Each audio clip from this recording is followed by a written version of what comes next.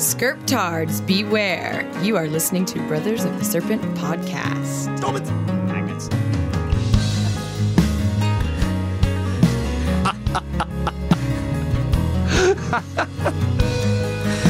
and welcome back, ladies and gentlemen, boys and girls, angels and demons, and monsters and serpents, and Skirptards to episode 55 of Brothers of the Serpent podcast. Coming to you not live from the 10 by 10 by 10 tangent cube of Stand Back! I'm going to try science. Nestled amongst the dusty bones of an ancient seabed high atop the Edwards Plateau. And tonight we are joined, as always, from his secret bunker deep beneath his secret space station and in its secret superposition in outer space. Or wait, that is a secret superposition because he often seems to be in more than one place at the same time. Mr. Brett England, how are you doing up, up, uh, down, whatever? How are you doing, buddy? I'm doing good, man. Hey, if I'm like way down super beneath my secret space station, does that mean I'm on the surface of planet Earth? Uh, no one knows where you are, Watcher. All right. Well, that's good. D- Okay, then it was supposed to be confusing because I don't know where I am. exactly. I was like making sure that I wasn't doxing you. we don't know if you're out there, up there, or down there. Whatever. You're just how you doing? Doing good, man. Doing good.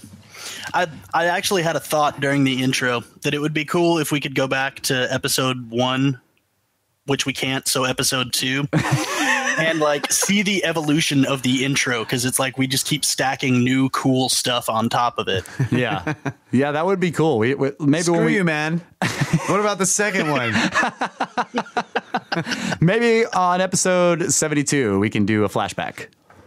Right on, like a little of, montage. uh, I dig it. episode seventy-two, we can do a flashback of episode two. but listen, uh, I want to talk at some point. I want to talk to you about that math that you did recently. You know, you know what I'm talking about? Oh yeah, yeah. Yeah, I think that that's going to be awesome. So we'll maybe we'll bring that up in uh, the third the third segment, possibly, or the fifth one? Right on. or possibly the fifth segment. Yeah. That's usually where I end up. All right, man. so, Kyle, do you have any news for us? Um, dang it. I have I have a little bit of news. I don't need to read anything. It, we seem to have been like we've been attacked all over the world by strange NATOs, like tornadoes of different Oh, yeah? types. Yeah, like there was a hey NATO that attacked like a bunch of girls in a car, and they squealed when the the hay NATO hit their car. It was pretty funny. and everybody has thought that the Sharknado is the most uh, terrifying thing that Mother Nature, Mother Nature has ever thrown at the human race. But the eighth fissure in the volcano in Hawaii recently made a Lavanado due to the updrafts. And I watched the video of that, and that is now definitely more terrifying than a Sharknado. So, Oh shit. I Lavanado. Sounds uh, sounds not terrifying. impressed. not impressed. Did it go all like uh? Did it like start traveling around and destroying trailer parks? No, Oh, well then, but it was that's that's terrifying. tornado made out of lava. I think the news article that I looked at called it a volcano NATO, but I like Lavanado better. Yeah, Lavanado's pretty good. Yeah, or magma NATO. Volcano NATO. Ah, he, he, the watcher brings up the video right there. Yeah, it's pretty fantastic, right? See, he's impressed. I never saw it. I mean, it seems scary. Yeah. So, do you have any news? Uh, not really. Okay. Uh, some guys like dug up a bunch of skulls Full of mush? in uh, the Aztec skull tower revealed. Oh. You didn't see that one? No, I didn't see that. Um, Aztec Skull Tower. yeah. They found a bunch of skulls, called it a like, and then like this trophy rack. See, the trophy rack Oh. of skulls. Wow. I don't know. That's about it. Those it. are Aztec skulls, though? yeah, it says they were Aztec ruins, whatever they were digging through. Thousands of human sacrifices had their still beating hearts cut out before their heads were severed and added to a monument the size of a basketball court. Holy crap. Skulls. and they had this this huge rack that they would like run these wooden rods through, and they would cut drill holes in the sides of the skulls. Yeah. and run these wooden rods through to mount them all up there. Hmm. So it looks like you know. It kind of looks like a, uh, what are those places called where they they store skeletons like uh, like uh, I can't remember what they're called right now. Um, they have them in Europe. There where there are so many. uh, You know, they've been sto- like it's uh, usually cemeteries. No. yeah. yeah. Uh, no, it's usually associated with like um, it's not catacombs either. It's it's associated with like a church, usually some kind of uh, where where the church has had so many people buried inside of it, like wealthy people or uh, royals, where their where their bodies are actually interred within the building, right? That they end up have, having too many, and they uh, like. There's one church. There's one where the, everything is built out of. Like they've got a chandelier out of people's skeletons, and Wow, uh, I, didn't can't know remember what they're called right now. Yeah, Yeah, this is. Uh, they got a like they Made Ossuary. a, they made a I think it's called an os- out of these skulls. Like they they embedded the skulls into this mortar. Oh yeah. So, yeah, I don't know. That that was the only thing I saw. Here, here's another image of Oh yeah. excavating it. Somebody got artsy with the. Uh, Yeah, it's know, an os- ossuary. So there's an ossuary somewhere in Europe where they where everything has been constructed out of bones of people uh, that are long dead. wow. The the monks that keep the place like we're running out of room to do anything, so they've built everything out of the bones, like walls, tables, chairs, chandeliers. That would be awesome. I would love it looks pretty that. weird. Yeah, it's pretty cool. but they're but they're doing it out of respect for the dead, right? Yes, I I'm mean not- the, the dead are long dead, and the and the respect has long been paid them, and like they are constructing this gorgeous, like, you know, like a mausoleum, but Yeah. everything is beautiful and like candles and everything. It looks about it looks badass, but it's kind of creepy. And maybe that's what the Aztecs were doing. We Yeah. don't really know. Like I guess the the idea is that it was horrific murder Right. on a massive scale, and Right. then they decided to, somebody got artsy fartsy with it. all these people were killed on top of pyramids. Let's Yeah. build a giant thing out of them. right. okay, Everyone said it was daft to build a tower out of skulls. but I built it all the same. okay, so I kind of want to. I kind of want. Oh, it's in Prague. Okay, the Sedlec Ossuary in Prague, and maybe we'll have pictures of it in the show notes. I kind of want to. So a lot of the stuff you were talking about last show with the magnetic field. Yeah. Okay. And the the possibility of what it might do to latent abilities in the human race. yeah. Oh yeah, look at that. See the bones hanging. Yeah, from- that's awesome. Yeah, it's it's cool looking. Uh, so again, we were we had this ongoing discussion with Brenner, who was on the show on fifty two. Fifty two. I think so. Yeah, and he brought up this. He brought up this experiment that Dean Radin has done, like Dr. Dean Radin, who does all kinds of excellent experiments in telepath, uh, telepathy, just parapsychology in general. And Dean Radin found that people, people's like ability to do various parapsychological things were heightened when there wasn't like a magnetic field, when the magnetic field was dampened or whatever. Mm-hmm. Now, I, I want to know, I would like to know, and I wasn't able to figure this out. I would like to know if he was doing it during the day or during the night, because I wonder if the problem was the magnetic field during the day as being. Because remember, you were talking about how during a heightened uh, solar, you know, a heightened solar state and a heightened magnetic, like uh, Terran magnetic field state, that during the night when the field is cleaner, the, the you know things might glow better, or like the, the, Yeah. the crystal. So I was wondering if Yeah, because I was looking at it in terms of resonance. Like if you have, uh, like we were talking about the Schumann resonance. Yeah. So the, the the magnetic field itself is resonating. Right, So during the day, it's going to be disturbed by everything going on, you know, coming from the sun or whatever. Yeah. So you might get a, a more, you know, noisy yes, uh, vibration. right, and then during the night it's it's a cleaner, yeah, Yeah. more steady resonant state. So so that's why the nighttime is the right time.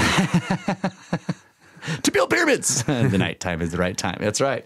Uh, so what I was thinking was all those legends that say things like Nan Madol was built in a single night by two brothers. Mm-hmm. Cain, in a fit of rage, built Baalbek in a single night. Yeah. Yeah, that's cool.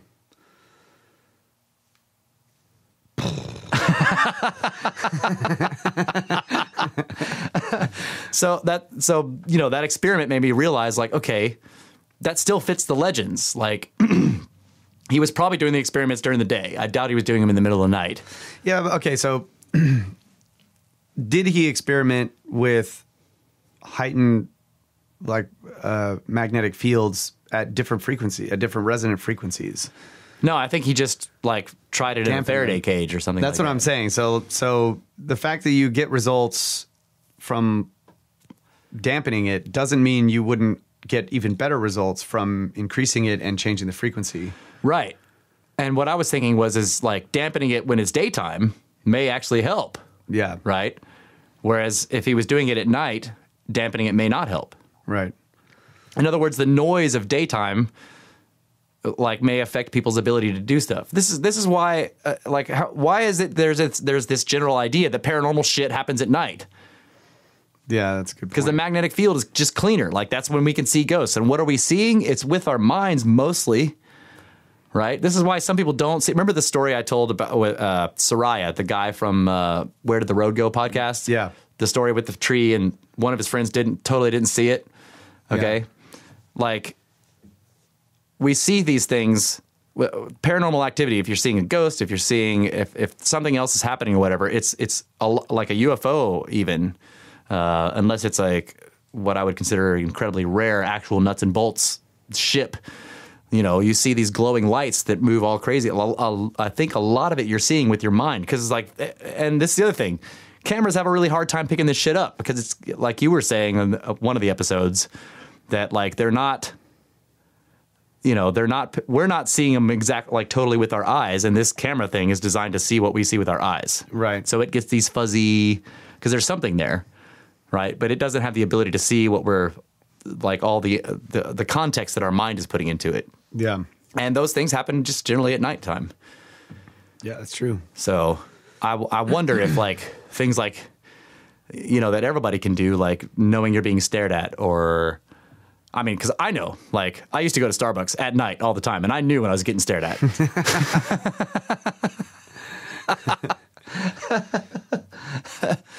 Just thought that was fascinating that it fit the legends because Yeah. the legends always say dwarves built it in the middle of the night, or, or you know, the, the, the elves, the, the the the good folk, you know, the the uh, what do they call them?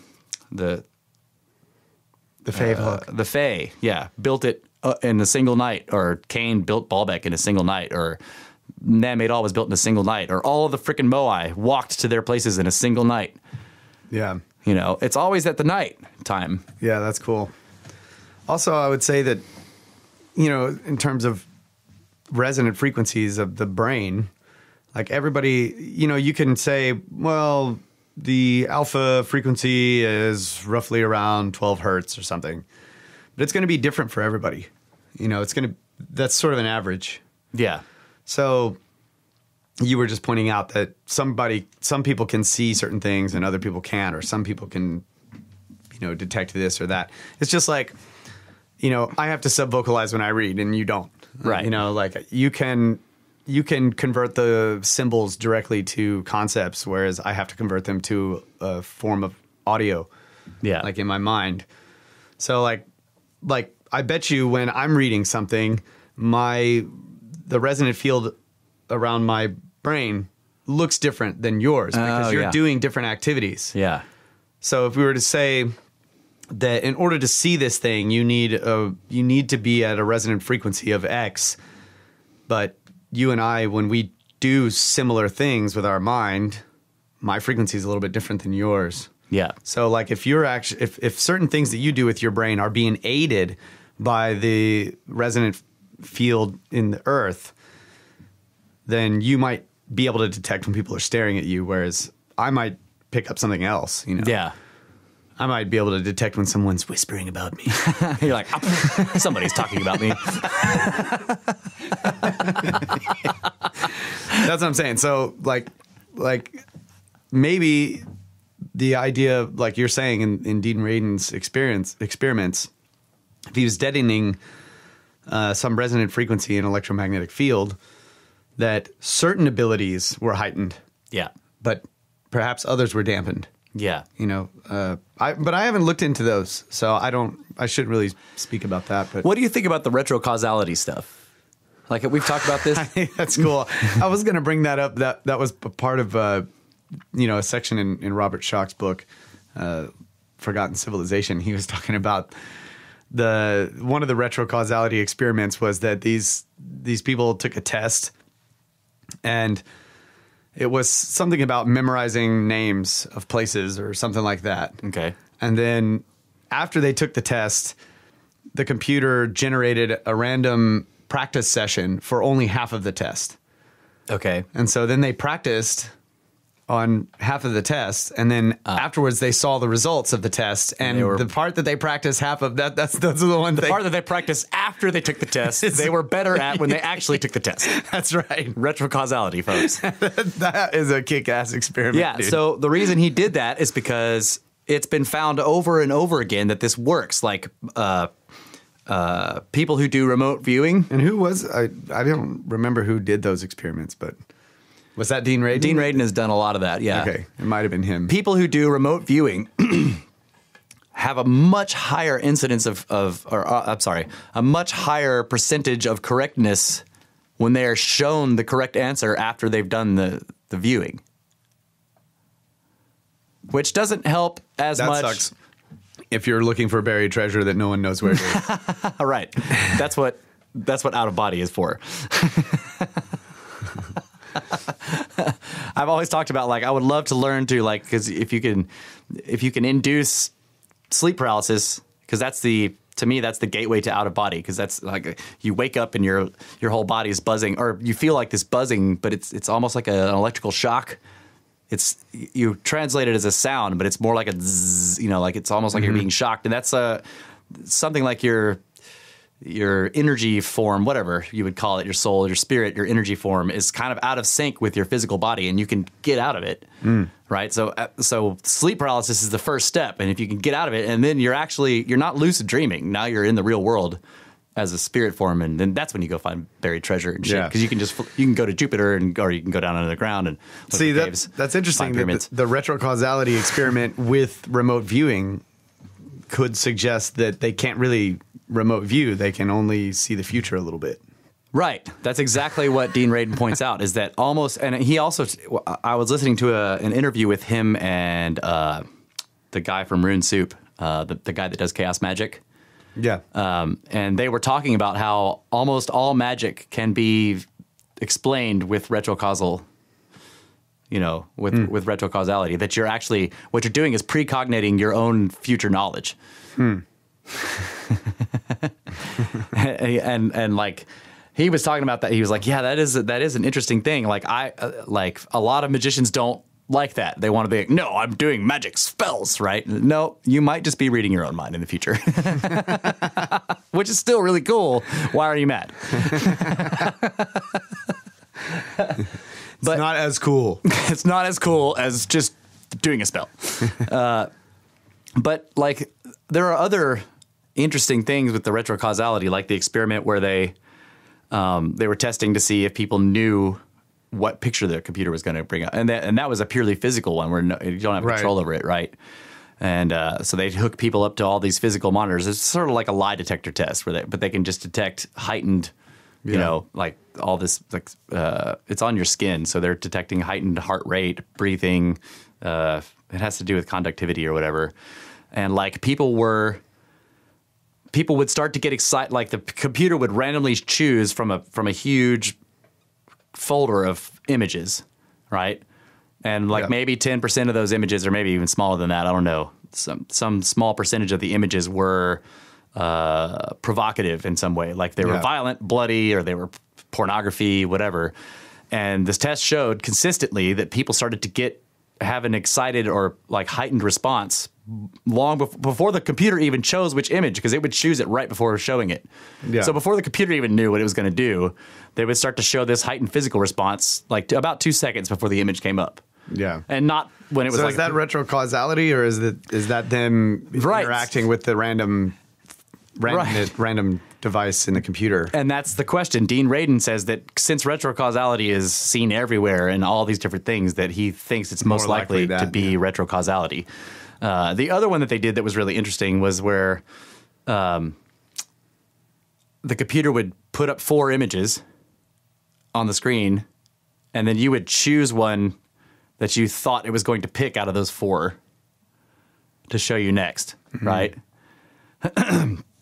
and males, not not females, males would start to get excited when they were right, before they knew they were right. yeah. About uh, same deal. About two seconds before they knew. With girls, it didn't somehow it didn't. They they didn't do that. They didn't start getting stoked. But like that might be because they don't get excited when they when they win, as much as guys do. right, guys are like yes before they even know. football.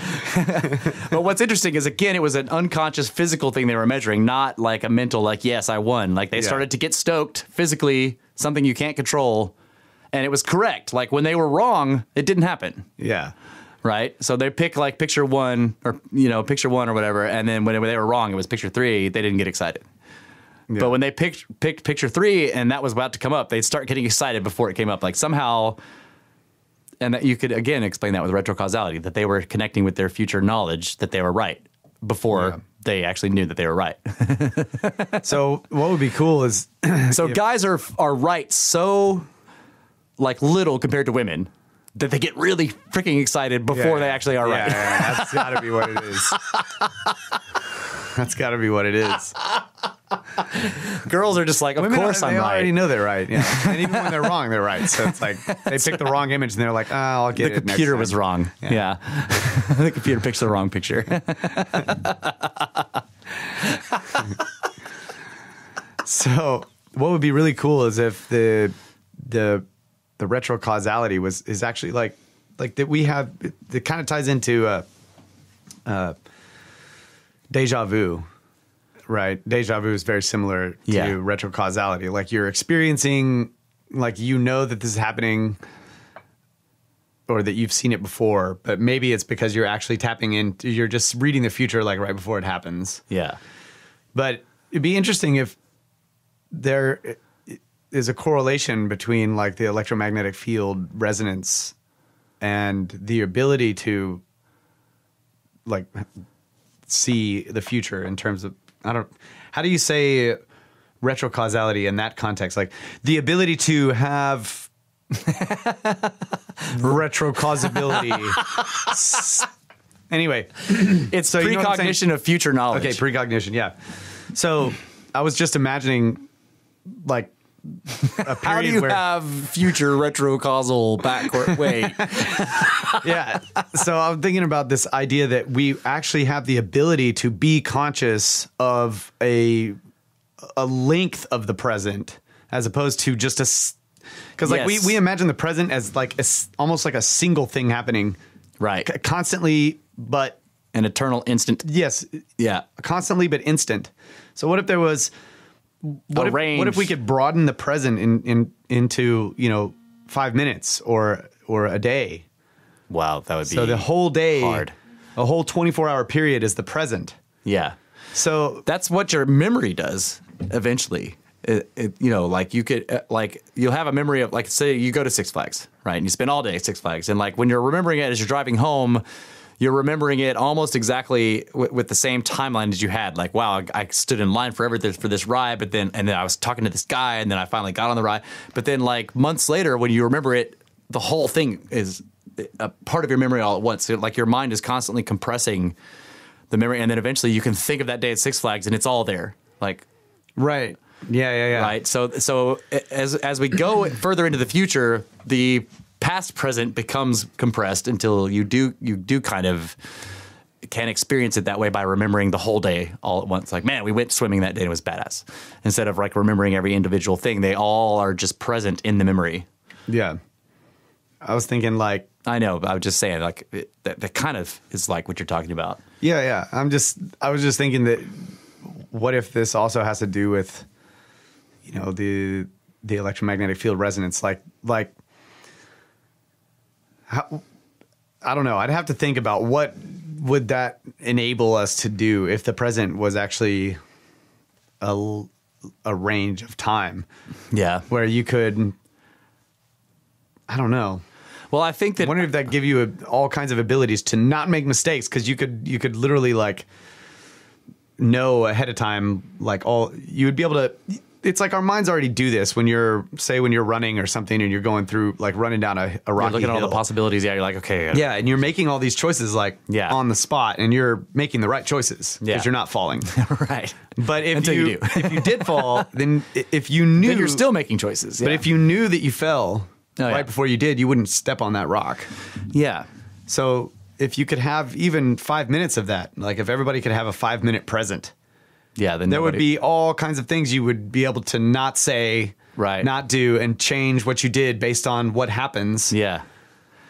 and get everything right. And like what Then how would you experience it? Yeah, how what would that experience be like? I know. I played a I played a game called um, uh, Life is Life is Strange, where that was basically what it was. The, the the the main character, the one that you're playing, had the ability to kind of rewind time, sort of like Braid. yeah. You could. There was a brief. You had a, a range of time. Like so, you would walk up to somebody and you would say something and it was totally the wrong thing you just say, and you would go and rewind everything, Yeah. and then you could try it again, right? Yeah. Uh, but that's not. I don't think that that's that's not what, what you're talking about. You're talking about having a like a complete knowledge of of of a range of five minutes around where you are in the present. Right. Yeah. So it's like the retro causality. Like you get the, the answers right because you study later. Yeah. So if you could be aware while you're answering the questions of the studying, if you could be more aware of it, right? That you're going to study later. yeah. So now I'm thinking of your example of like running down the hill. And it, like, let's say that you're like, holy crap, I should be dying right now. Just remember when you get to the bottom of the hill that you need to like really study that hill, walk, Yeah, it, like, yeah. like climb up and down it, and check everything out, and like, and that way you'll you will have retrocausally made sure that you didn't fall. yeah. So Brett brought up base jumping. It's like when you go base jumping, and you know, in your little squirrel suit, you just got to know when you jump off that cliff that you're actually going to hike all the way All the way back up, and right, check and out check everything- everything out, all the trees and everything else. and then you won't hit anything. That's right. Didn't they do this in And then you can cheat it because after you get to the bottom, you can decide, since you have free will, that you don't want to do that. But that wait, but but if you have the ability to like, you're totally going to do this, right? And you can just trick your mind, trick the spirit world into thinking that you really are. somehow I think that would be tempting fate. you know, like you're like, you know what? I don't want to. But then maybe that's like what like like what is it like pathological liars, you know?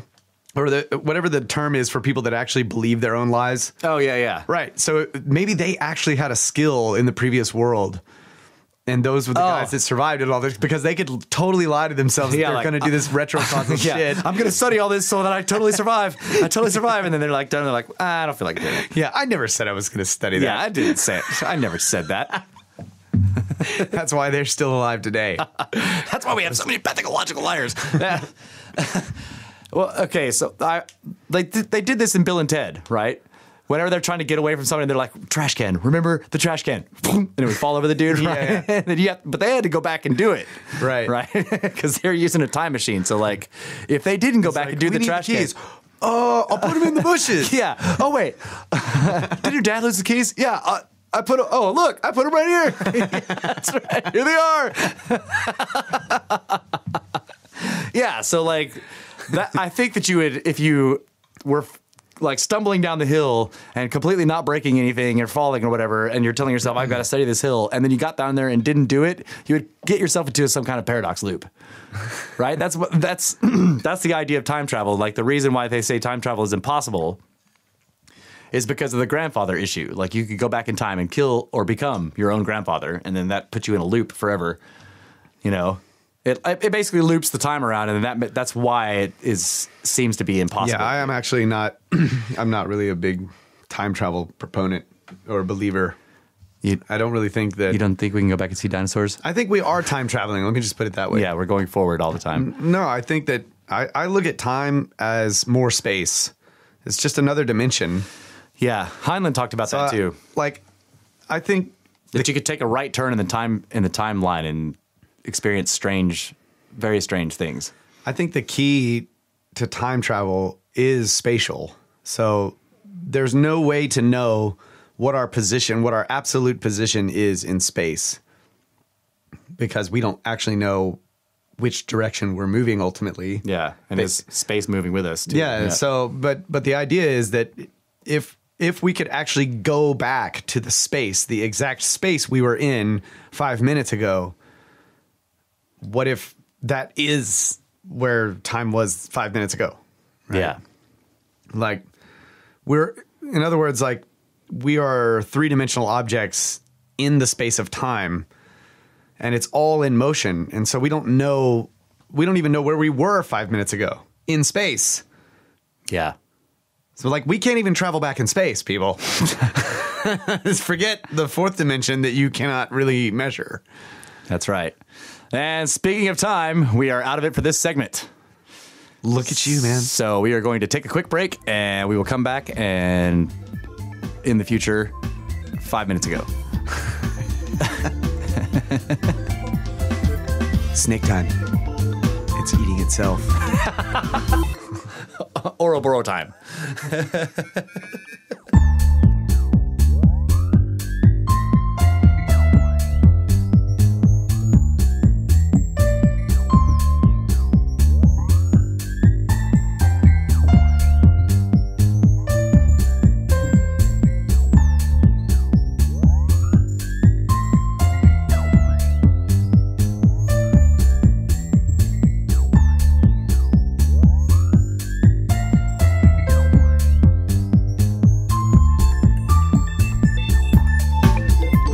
Regulated by the sands of time.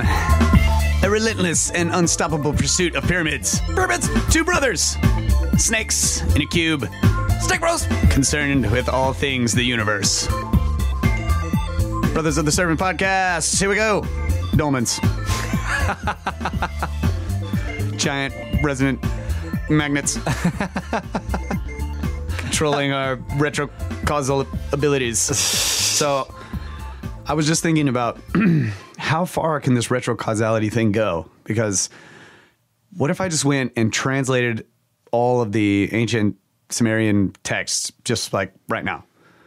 Because I know that when I'm like 60 and retired, I'm really going to study the shit out of that stuff. so I might as well just translate it Yeah. now. I was thinking the same thing about the like we were looking at all the hieroglyphs and like you know you were like well these are all numbers I'm like how do you fucking know that well probably because when you're 60 and retired you're going to translate them I had a dream that I like just started reading them. Like I was able to just I just started seeing them and know just totally understanding what they all meant. no see now that might be That past life memories I, I was a sphinx. I was an Egyptian slave so I, I was a sphinx man, and I turned myself into a falcon. I was a foul man, king. we shall have shit I can't do it. We shall have children. They will be foul kingmen.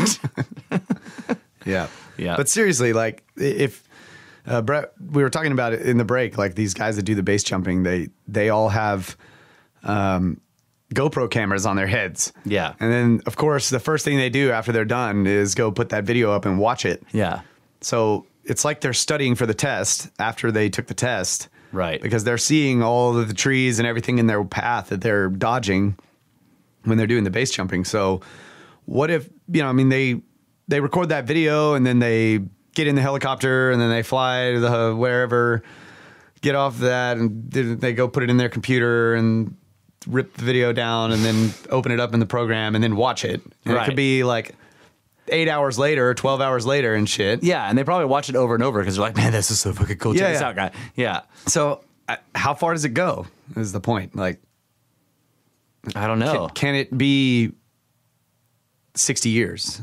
yeah. Like, I don't think there's a limit on. so if I successfully, I mean, dude, if you're reading the future, if I successfully translate the Sumerian texts tomorrow, planning to translate them when I'm 60, then I know I'm going to live till I'm 60. So then I can just do whatever I want between now and then. And I know I'm not going to glad. you know what I'm saying? You could. There's all kinds of stuff you could do with this. That's true. I, I mean, like if you take the test and then, well, you can't know the score of the test.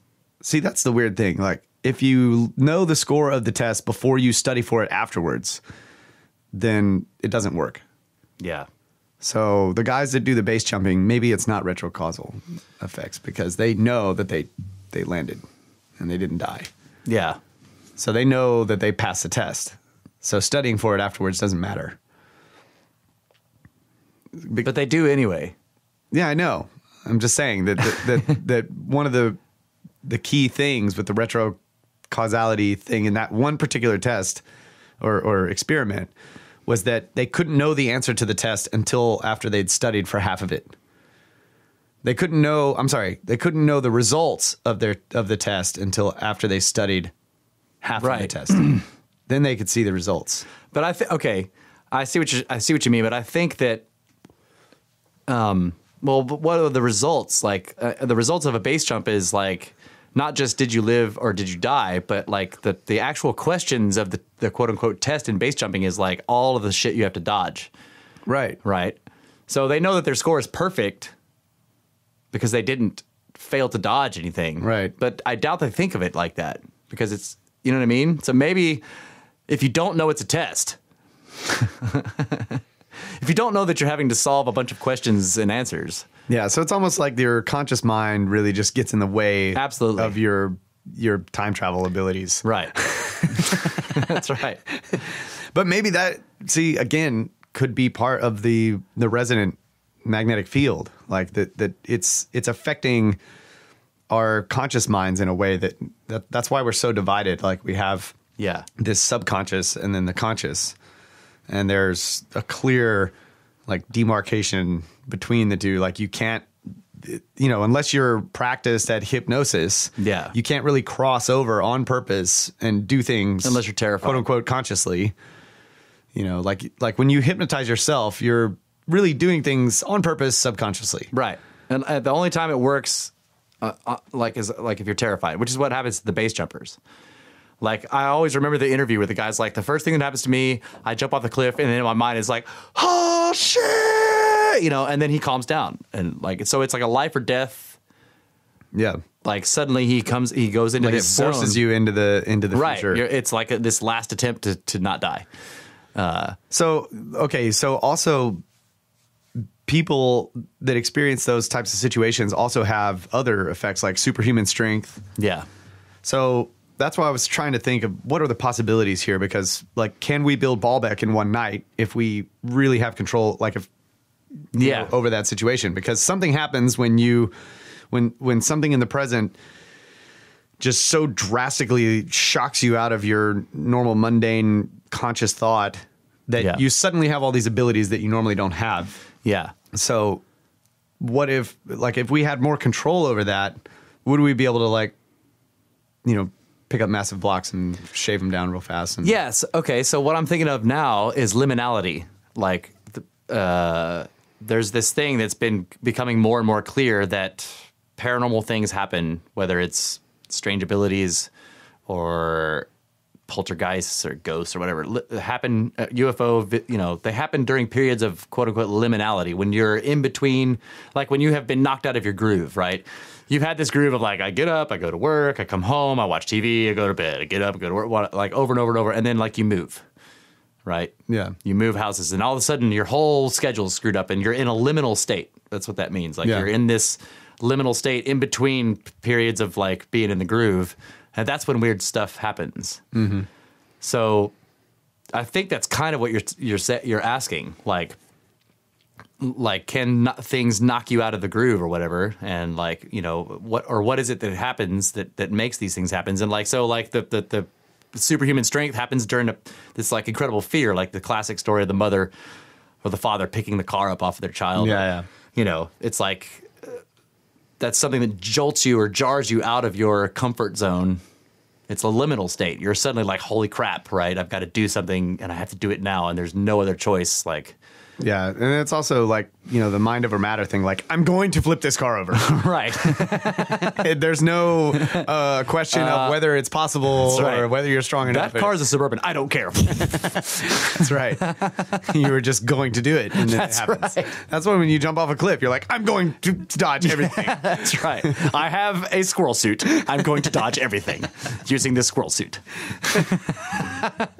Uh, it's like, does the suit really matter, or is it just like you put that on and so you believe that you can dodge everything on the way down, and so you do? yeah. Like, so what if you have a squirrel suit? you should still die. and if you jumped off there without that squirrel suit, you would totally not think you were going to live, and you would die. Yeah, that's right. But you jump off there with that squirrel suit and you're like, I can fly. I am a I'm- squirrel. that's right. I can fly. I'm going to dodge everything and live. Squirrels can do this, so can I. That's right. Okay, so Brett is asking, he says, if retrocausality exists, is there such a thing as future casting or anterocausality? Which would, by, what do you mean by that? You, you can come on and tell us what you mean by that. Anterocausality. No, you can't. Stay away from your mic. Oh man, and I like just unmuted it and was about to talk and then got the no. Keep going. Well, what I'm saying is like, so you know how in if you read books, like right, like on these people who are successful people, Oh, yeah. they talk about all the time. They say things like you have to visualize achieving your goal. You have to believe completely in the fact that there will be a positive outcome. Yeah. like positive thinking, positive direction, all of those things lead to success or positive outcomes. Yeah.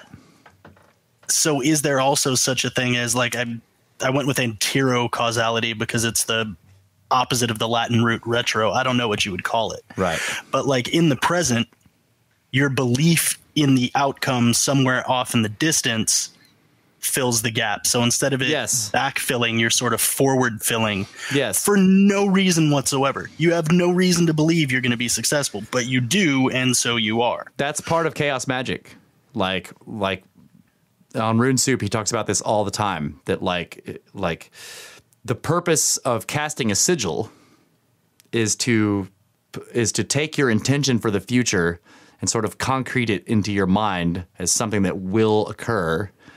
And then that somehow interacts with the way that the universe works and your mind and your intentions whatever and it makes that pathway far more likely than if you didn't do that. But that, I mean, whatever antero causality, whatever you want to call it, that's something that seems to be uh, very common in religious texts. You know, believe, right you know, faith. can move a mountain yeah And then, yeah, it's like all those self help books. Like they always tell you, you know, first thing is like, well, you have to think positive. I think I can. I think I can. I Yeah. think I can think positive. Have you ever met a pessimist who like had all kinds of crazy good stuff happen to them all the time? Just had crazy good luck and they're just totally pessimist? No. Yeah. like people who are optimistic are the ones that have i mean they'll have bad stuff happen to them but people who maintain optimism are the ones that reach the top are the ones that have good things happen to them you know? Uh, like i learned this the hard way by being a pessimist for a long time about stuff like that i would always complain that kyle like would just walk outside of a movie theater and find 20 bucks i'm like man that never happens to me and it didn't and then I stopped thinking. I was like, well, you know what? It could happen to me. And then I found 20 bucks. Five, well, it's $5, but still, it's, it's, I'm, I'm working my way up. you got to start somewhere, man. yeah, you've been finding more arrowheads than me lately, so screw off. Don't get me stuck in a funk. Okay. That's actually a really good topic right now. I want to ask you about that enormous, what the hell is that thing for? What enormous thing. The, like the, when you went, oh, and you ran over there and grabbed it. like what, that, okay, it's shaped like an arrowhead. It's got the, the tang and it's got the long, you know, spearheads were like leaf shaped. Yeah, that's yeah. It's, a- way too big for an arrow. Yeah, it's not an arrowhead. Like most of the quote unquote arrowheads that you find are not arrowheads. They're they're either spear point or some an But- atlatl point. But spear points are like a knife. like round, right? They don't have a they don't have the twin things coming. Yeah, up. they will. Yeah, they have the the things that come up like the. There's just all these different types of of. Uh, I was just saying like that looks like a ballista bolt to me. There's all different types of bases. Like they make these little bucktooth bases, you know, and then they're then where the actual blade started, there'd be like two little sort of wings that come off. I don't know the proper names for all the different parts of the. Okay, of how the- old do you think it is? Because that thing is huge. like, what were they hunting with that gigantic thing? Who Um, was throwing I, it? I don't know. Okay. I would say, you know, late archaic. Or Late something, archaic. but I don't, I don't really know. I'm not real good with that. Because it's too big for. But an I app- actually have another one that's almost exactly like that one. Okay. That is actually on the porch over there.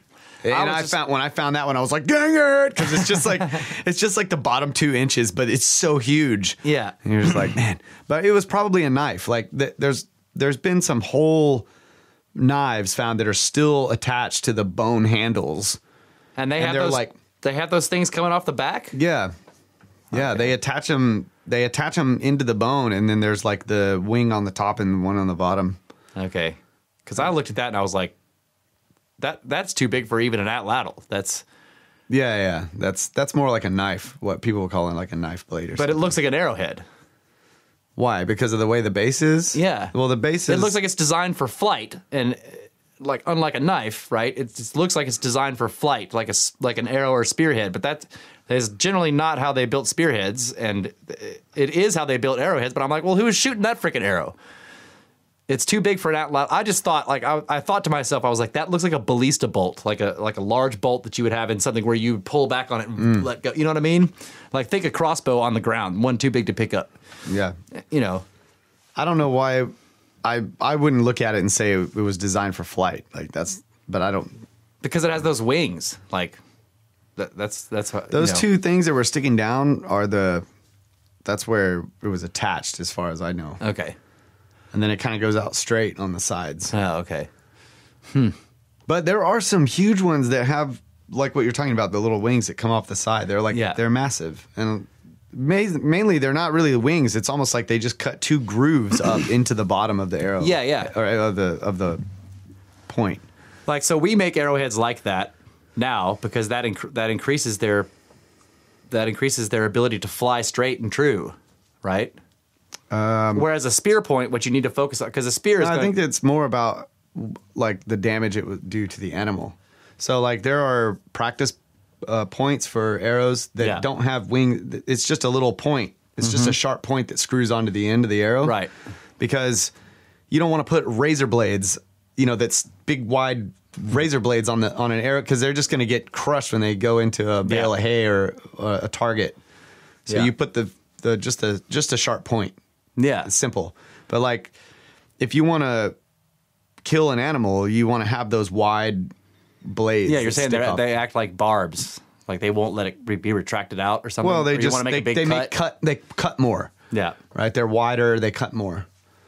Okay. So like uh, a lot of the quote unquote bird points that are, you know, that I think are actual arrowheads. They they have these like wide wings that come out. I don't think they're for flight. I think they're for cutting. Hmm. Cuz they're probably going to I mean, they're going to break most likely when they I mean, if you miss or even if you hit one, they're that's probably it for that bird point, you know. Yeah. But I don't know. I saw that thing and I was like, it looks like it was designed for because a spear, a thrown spear, does not have the initial velocity of an arrow. It just doesn't. Yeah, yeah, exactly. Yeah. Okay, and even an atlatl is not is not going to have the initial Right. acceleration velocity of an arrow, and so they make the points differently. I thought that the and of course you're going to have fletching, which helps it f- fly straight. Yeah. right. But you want that. you kind of want this this like aerodynamic thing going on in the arrowhead too, along with your fletching. And Yeah. I don't know if they they probably didn't rifle their fletching to make it turn. Well, almost every point that I have has a a twist to it. Like even the big ones. Oh, they do have. They did They rifle it. they yeah, if you look down from the point, like down like you point the the point of a of an arrow or a, an artifact like right at your eye, you can see that it it actually twists a Okay, little so bit. they did rifle it. But I think that's actually uh, that just happens when you're knapping. Like the the way that you do it, it ends up it ends up doing that because like I've made them and they all have that same twist and like depending on I think if you're right or left handed, they twist a different way. Yeah. So you better get the right Fletcher then, because if he if have his, has his fletching turning the wrong way, then they're going to be fighting each other. and It's going to not work. But I'm just thinking, like, I think the fletching. Can I wonder. I, I just wonder if they had like, why wouldn't they? If you if you understood if you understand the physics of a bow, who would not think of making a very big bow that was turned sideways, that was mounted on something that you could like put your foot on the stump and then pull way back and Yeah. have this giant whoosh, a ballista. That's what that's called, right? yeah, I don't know. I mean, Come on, man. no, I mean, I, I'm not saying they didn't do it. I don't think. I honestly don't think that we know what you know all the things that are quote unquote known about these artifacts. I don't think they're actually known. They're, Yeah. they're guesses Yeah. because, I mean, surely in in caves and stuff they've found whole things. Right? Yeah. They've they found probably some of these points that are well known points still on a Whatever they were on. Yeah. you know that that's i'm sure that's happened i mean there's probably all kinds of museum pieces that are very well preserved and i mean i know there's been arrows and whole like quivers full of arrows with the, the heads still on them and Right. You know, so But I have know they found any with that big of a thing on there? no because they didn't they weren't shooting Arrows. arrows they weren't arrows right they were and i think that I, I don't understand why you would want a knife that had the have those things coming off it because you stick yourself with that. Like it, it's like it's like having a sword that has like spikes coming down back towards your hands. yeah i don't you know i don't know Yeah. I mean, they mounted it to an antler or two, or just how, uh, however they carved the handle. I don't know. Never found one, but I hope to. I'm I'm gonna find one. Antero causality, right there, folks. That's right. I'm finding one of those bitches. so we'll we'll put we can put a picture in the show notes of of what you found. I yeah, I'll get the other one because the the one that I found recently, I left at that ranch. Oh. on the table. That's right. And it's probably gonna be a while before we go back there. I have so many broken pieces. I'm just bragging right now, but they're but I'm not really bragging because they're all broken. but I have like I have like I have that collection. pots full of broken Yeah. artifacts. And so when I, you know, find a pretty badass broken artifact on somebody's ranch, I leave it there. Yeah. If it's whole, I take it. no, I'm joking. but seriously, if it's a if it's a really good one, I will ask if I can take it and put it in my table. Yeah. Okay, so the next topic, I, I want to go ahead and go through this King's List thing because I've been thinking about this article. hell yeah, All right. so this is from Ancient Origins. It is uh, Ancient Origins, ancient-origins.net. Um, and the, the article is called "The Sumerian King Li- King List Still Puzzles Historians After More Than a Century of Research." So, that's not much research. yeah, most of that century they didn't have the internet. Yeah. Okay. Out of the many incredible artifacts that have been recovered from sites in Iraq where flourishing Sumerian cities once stood, few have been more intriguing than the Sumerian King List, an ancient manuscript originally recorded in the Sumerian language, listing kings of Sumer, which is ancient southern Iraq, from Sumerian and neighboring dynasties, their supposed reign lengths, and the locations of quote unquote official kingship. What makes this artifact so unique is the fact that the list blends apparently mythical pre-dynastic rulers with historical rulers who are known to have existed. Right, we get the same deal here. Like, Yeah. well, those ones are mythical, uh, but these, you know, but the list has real people on it, and somehow when you go back in time, they turn mythical because they lived too long. The first fragment of this rare and unique text, a 4,000-year-old cuneiform tablet, was found in the early 1900s by German uh, German American scholar Hermann Hilprecht at the site of ancient Nippur and published in 1906. Since his discovery, at least 18 other exemplars of the King's List have been found, most of them dating from the second half of the Isin dynasty, which is, uh, they date at tw- uh, 2017 to 1794 BCE. So 2000, 2000 BC. Um, no two of these documents are identical. However, there is enough common material in all versions of the list to make it clear that they are derived from a single ideal account of Sumerian history. And this is the one that they made the, in these these like there were these um, like square columns, and they stood on a spindle so you could turn it and read all sides. Yeah, that's awesome. Like sunglasses deal at the gas station. I think I've said that once in one of the shows. Okay, among all the examples of the Sumerian king list, the Weld Bundle, uh, Blundell Prism in the Ashmolean Museum cuneiform collection in Oxford represents the most extensive version as well as the most complete copy of the king's list. The 8 inch high prism contains four sides with two columns on each side. It is believed that it originally had a wooden spindle going through its center so that it could be rotated and read on all four sides. It lists rulers from the antediluvian, or quote unquote, before the flood dynasties, to the 14th ruler of the Isin dynasty, which would be uh, circa 1963, or I'm sorry, 1763 to 1753 BC. The list is of immense value because it reflects very old traditions while at the same time providing an important chronological framework relating to the different periods of kingship in Sumeria, and even demonst- demonstrates remarkable parallel accounts, uh, parallels to accounts in Genesis. So, Sumer, some called, sometimes called Sumeria, is the site of the earliest known civilization located in the southernmost part of Mesopotamia between the Tigris and Euphrates rivers, in the area that later became Babylonia and is now southern Iraq from around, uh, from around Baghdad to the Persian Gulf. By the third millennium BC, Sumer was the site of at least 12 separate city states, and here they list them Kish, Erech, Ur, Sippar, Akshak, Larak, Nippur, Adab, Umtibira, and Larsa. Each of these states comprised a walled city and its surrounding villages and land, and each worshipped its own deity, or Anunnaki guy, Nepha, whose temple was the ori- central and original structure of the city. So think about that. the house of God. Right. And uh, kind of like what happened with um, Göbekli Tepe, like archaeologists used to say that the city was founded first and then the temple arrived. But Sumer shows you over and over and over again that the temple was there first. Yeah. Right. Political power originally belonged to the citizens, but as rivalry between the various city states increased, each adopted the institution of kingship. The Sumerian kings list records that eight kings reigned before a great flood. After the flood, various city states and their dynasties of kings temporarily gained power over the others. Okay, so here we go Sumer, Sumer's mythical past. The Sumerian kings list begins with the very origin of kingship, which is seen as a divine institution. Quote, the kingship had descended from heaven, unquote. The rulers in the earliest dynasties are represented as reigning fantastically long periods. They were robots. they were they were just like robots sent down here by the Anunnaki.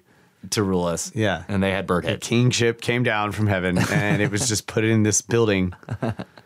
Or the building that we see now as the temple is like a stone representation of the original ship. Yeah, yeah. After the kingship, okay, so this is a quote. After the fr- from a Sumerian translation, after the kingship descended from heaven, the kingship was in Eridug. In Eridug, Alu, uh, Alulim became king. He ruled for twenty eight thousand eight hundred years. Alaljar ruled for thirty six thousand years. Two kings, they ruled for sixty four thousand eight hundred years. Unquote. Some of the rulers mentioned in the early list, such as Etana, Lugalbanda, and Gilgamesh, are Wait, wait, myth- wait, wait, wait. I'm sorry to interrupt you. What was the first length of time? 28800, 28,800.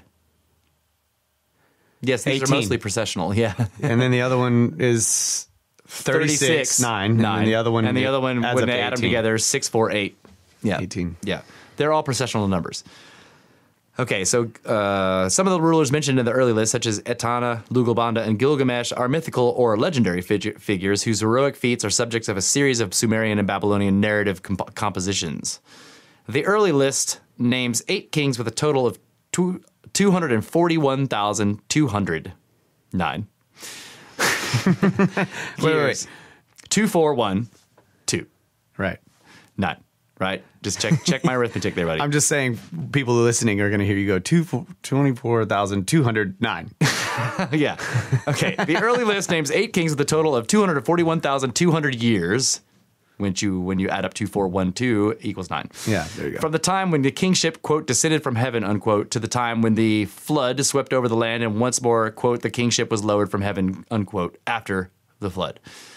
So presumably the kingship was raised up into heaven during the flood. Yeah. Okay, interpretation of long reigns. The amazingly long tenure of the early kings has provoked many attempts at interpretation. At one extreme is the complete dismissal of the astronomically large figure, figures as completely artificial. and the view that they are unworthy of serious consideration. At the other extreme is the belief that the numbers have a basis in reality and that the early kings were indeed gods who were capable of living much longer than humans. Here at Snake Bros, we fall much farther to the second one than the first one. I mean, 3,600, or was this 36,000 years is one of them, but 3,600 is two precessional ages. Or no, I'm sorry, it's an age and a half. Yeah. In between the two extremes is the hypothesis that the figures represent relative power, triumph, or importance. I don't think that's in between, but we'll go with it.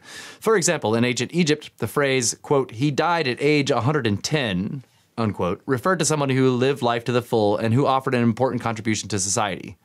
In other words, they didn't actually live to 100. It was a, a, a saying. Yeah. He lived to 110 years old. Meant like that guy did everything he wanted to do and died happy. Right.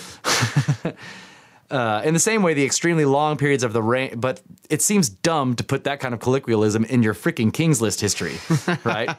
In the same way, the extremely long periods of reign of the early kings may represent how incredibly important they were and perceived, uh, incredibly important they were perceived as being in the eyes of the people. This doesn't explain, however, why the periods of tenure later switched to realistic time periods. I'm done. What? It's not a. It's not an age and a half. 3,600. I'm trying to figure. It's just. It's there though. Yeah, it's precessional. Yeah, 360. 360. But yeah, it's not an age and a half.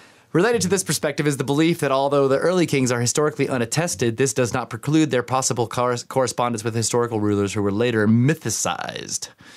Finally, some scholars have sought to explain the figures through a mathematical investigation and interpretation. Relation to Genesis. Brett points out here that the 28,800 plus the 36,000 equals 64,800. So the first two equal the third. Yeah, yeah, that's. I think that's what they were saying in the article too. Maybe I didn't read it clearly. They said, I don't know. I was so vocalizing math over here, so I didn't Yeah, it says it says. it- Hey, don't you be messing with me numbers. it says. Uh, uh, Alulim became king. He ruled for 28,800 years. Aljar ruled for 3,600 years. These two kings, they ruled for 64,800 years. Oh, okay. yeah. Yeah, 36,000. Yeah. Yeah. Relation to Genesis. Some scholars, e.g., Wood, 2003, have drawn attention to the fact that there are remarkable similarities between the Sumerian kings list and accounts in Genesis. For example, Genesis tells the story of, quote, the great flood, unquote, and Noah's efforts to save this, all the species of animals on earth from destruction. Likewise, in the Sumerian kings list, there is discussion of a great deluge, quote, the flood swept over the earth, unquote.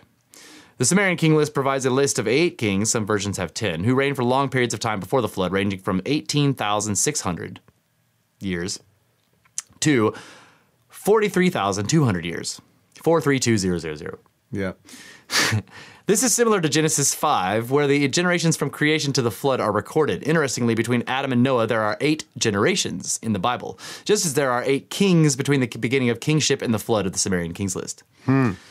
So in the Bible, they call them eight patriarchs, right? So you have the eight patriarchs biblically. There's the eight kings, the Sumerian kings list. Egypt has uh, in the the pyramid texts lists eight kings pre-flood that lived that lived for incredibly long periods of time. It's the same deal. They script over that too, even though they use that same list to like say that this is when Khufu was around and he built the pyramid. Yeah.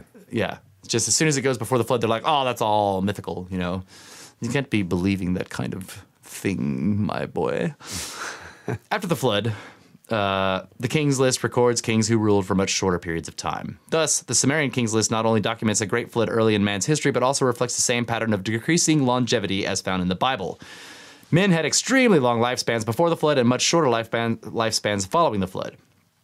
The Sumerian kings list is truly a perplexing mystery. Why would Sumerians combine mythical rulers with actual historical rulers in a single document? Why are there so many similarities with Genesis? Why were ancient kings described as ruling for thousands of years? These are just some of the questions that still remain unanswered after more than a century of research. And they remain unanswered because people don't want the answers. so uh, that's the fin- that's the end of the article. There's a lot of there's pages and pages of fantastic comments uh, that we can't really go into at the bottom of that. So if you guys are interested, you should go read the article and then just go through the comments. They are in a lot of in a lot of t- like April writes good articles, but the comments just really dig into it and they're really Yeah. awesome and there's some great ideas in there. So we're gonna take a break. We'll come back and we'll discuss what we think about it and give you our comments. uh, and we will see you after this short break uh, with our pyramids game. Are you tired of checking your feed every Wednesday and seeing a new Snake Bros episode? Does your head hurt from 30% brain expansion? And are you tired of having your mind exploded? If you suffer from any of these conditions, don't go to your doctor. Instead, send your money to the Snake Bros Pyramid Scheme. Donate any amount to Brothers of the Serpent podcast and send those Snake Bros straight to pyramids. I sent Snake Bros two bucks, and they went and explored an ancient volcano. Snake Bros Pyramid Scheme. Scientifically proven to increase the probability of Snake Bros getting lost and dying. I gave Snake Bros five dollars on PayPal, and they done took off digging in a cave. Snake Bros Pyramid Scheme on PayPal now. Click on the PayPal link at brothersoftheserpent.com. Donate now and send those Snake Bros straight to pyramids.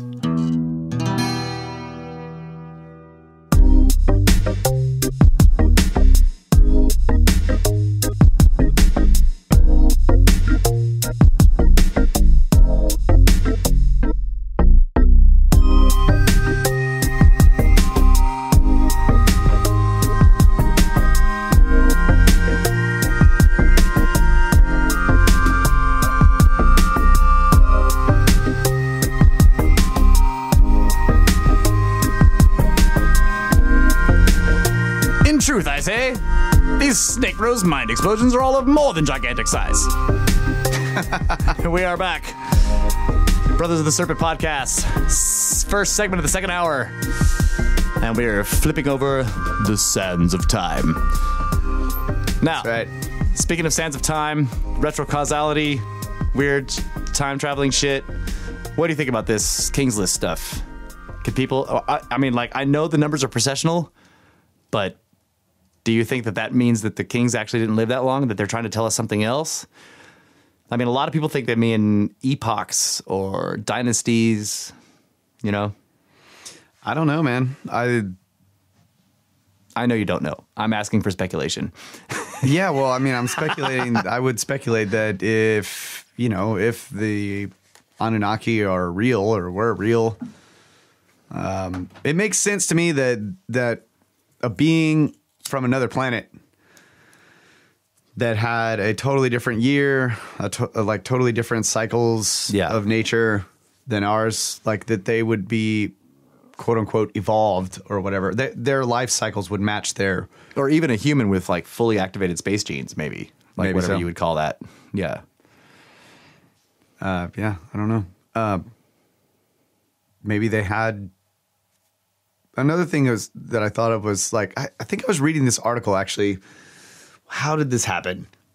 I probably tagged it for Snake Bros and couldn't find it in my list because I don't I, I don't delete the ones that I've already used and I need to do that.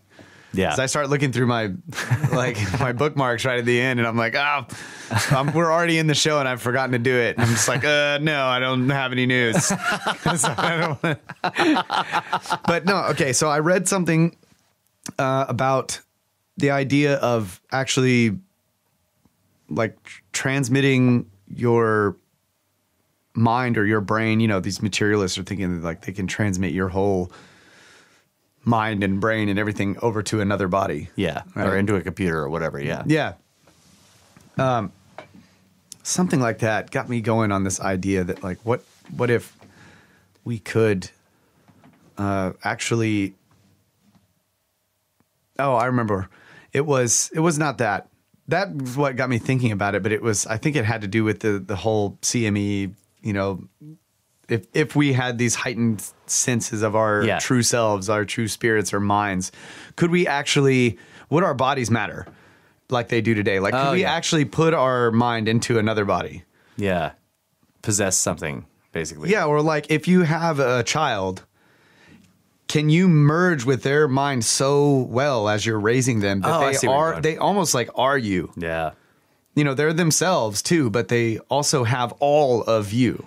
Or you rec- like you can record your essence into a crystal skull, for example, and then they can get it back out or whatever. Like I remember there was I, I'm I know that sounds ridiculous, but I was just thinking specifically in terms of, like this thought made me think of the King's List. Yeah. Like what if they okay, and that Oh, that, I see. That basically is like the dynasty, right? You know, it's your your lineage. But if it if it was really like you're the same guy and the bodies are just procreating, they're Yeah. doing the the material thing. yeah. I got you. So there's still a question. Is So like, you're just what- inhabiting each new successive body, but you're the same Yeah. person. and there, I mean, there's there's still a question about like what is when you have a kid, like what is that?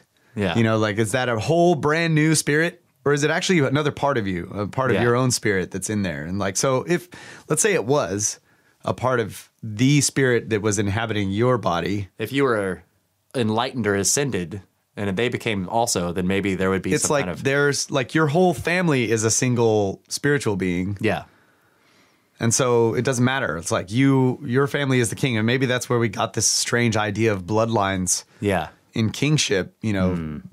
And it's like we're still trying to do this thing where like yeah. But you- they're totally not enlightened anymore. yeah, exactly. So they they don't they all turn out to be like crazy nut Yeah. jobs and like different people. But right.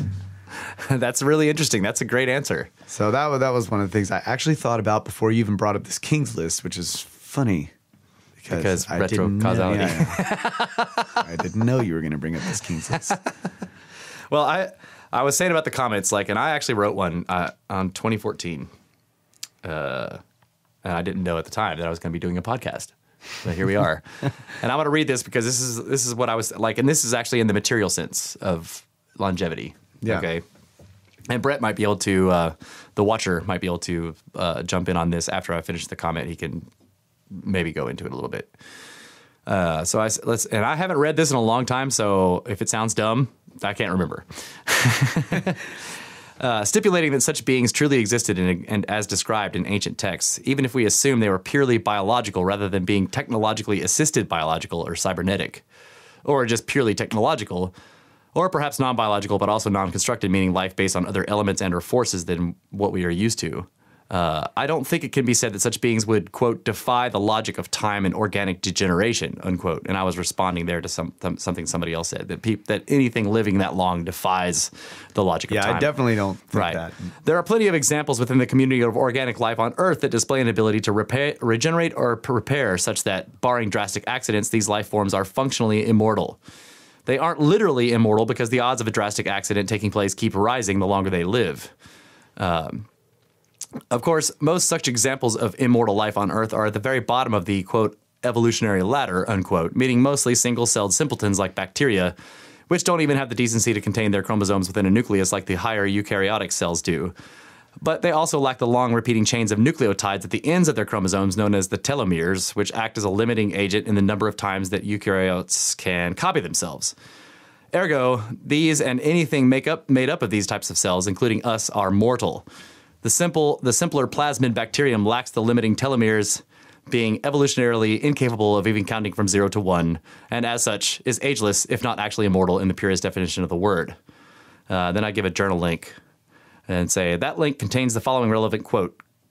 From the evolutionary viewpoint, therefore, the fundamental nature of cells is immortal, and mortality is an evolutionary phenomenon acquired by eukaryotes. And I'm not sure if I'm saying that right.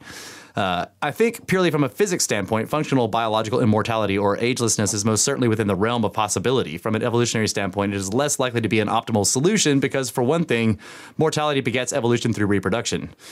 Bacteria don't really reproduce, their system isn't complex enough or controlled enough to do that. Rather, they swap plasmids and mutate. But they can only mutate into another kind of bacteria with different parameters. They do not evolve, not really. They've been mutating all over the place since time began, and they still can't count to one. Aside from, aside from that, the ancient texts and legends and myths of the gods never imply they were immortal in the sense that they could not be killed, nor is it implied that they were ageless like bacteria. They had a generational cycle. It was just way, way longer than that of humans. The immortality of the gods was not forever, it just meant thousands or tens of thousands of years rather than a few decades.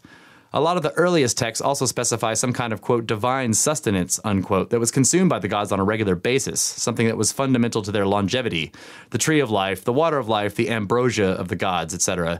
This was the central driving factor of the Epic of Gilgamesh, which seemed to imply that if one had a god in one's ancestry, then one could possibly attain the immortality of the gods if one could lay hands on the divine food. This appears to imply some type of genetic related anti aging therapy, possibly, which is it was certainly within the bounds of the possible to us today. So that was my comment on just material, Yeah, like that's cool. longevity. I mean, there's like I've I've seen stories about that too. Like, oh, scientists just possibly discovered the immortality. Yeah. Blah blah whatever. Well, I remember that guy that stayed in space for a whole year and got his space genes activated had longer telomeres when he came back down. Space jeans. Punch you in the space jeans. Gonna make your space jeans float. I'm gonna put divots in the rivets with my physical arm.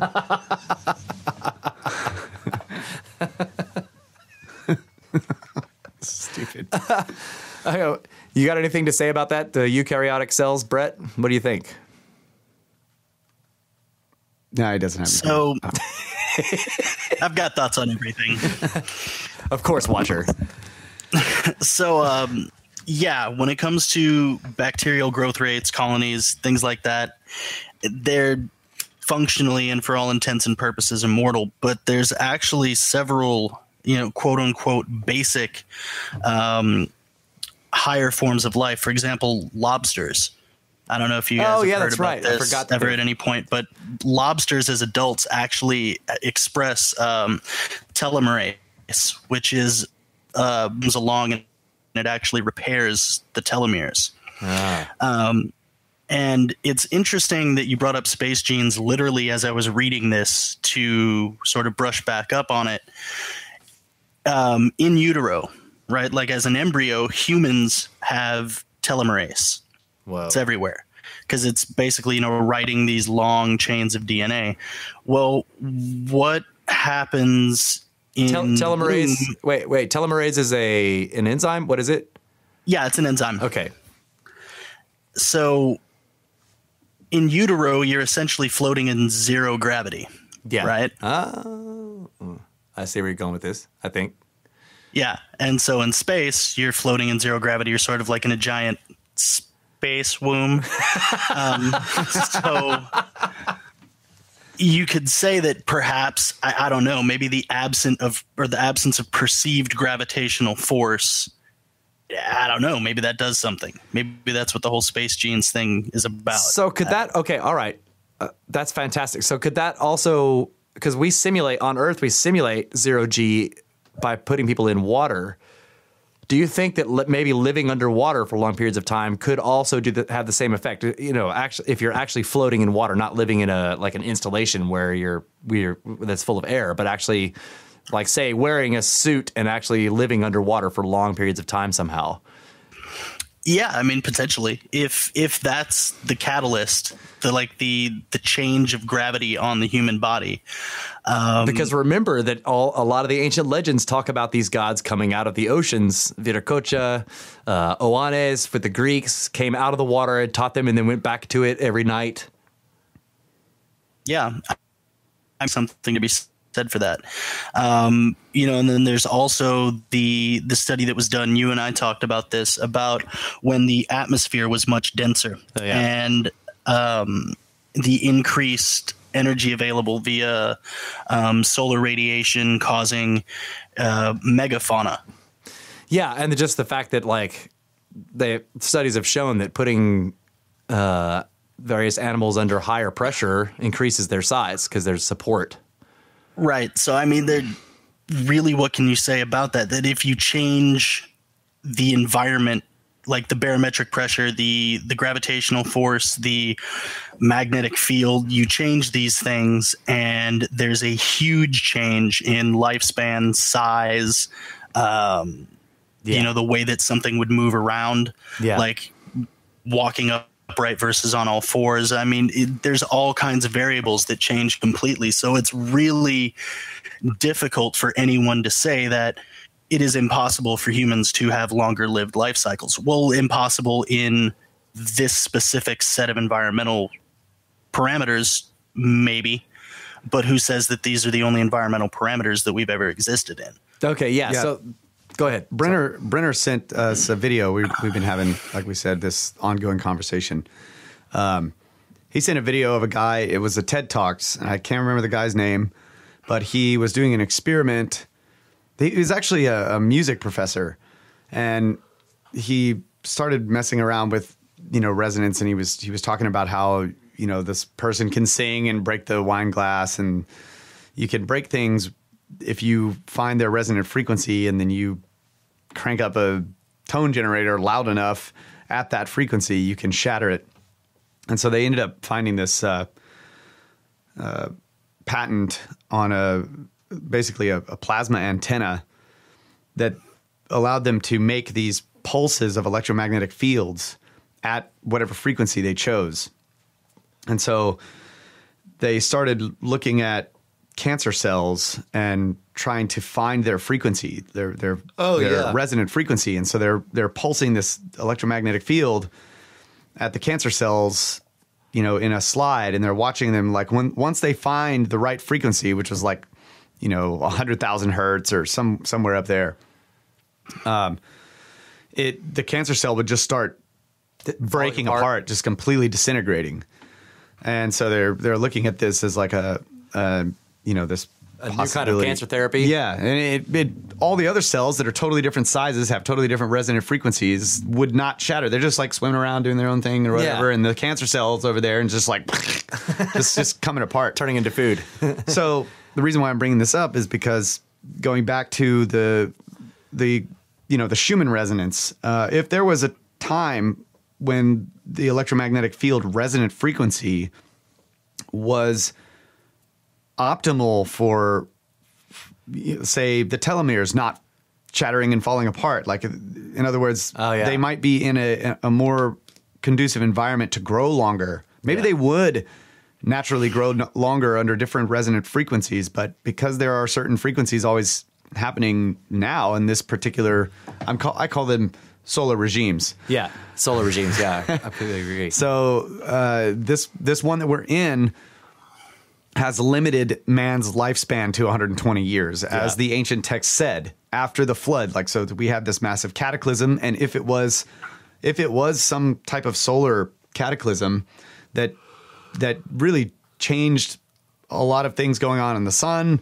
a lot of things going on on Earth, uh, and just totally limited our lifespan at that point it's it's conceivable in other words that that under different EM frequencies and and amplitudes of frequency vibration that we might actually have you know longer lifespans because they they are not conducive to things like cancer and other other types of cells and more conducive to even smaller things like the telomeres or genetics uh, not yeah, falling apart and definitely.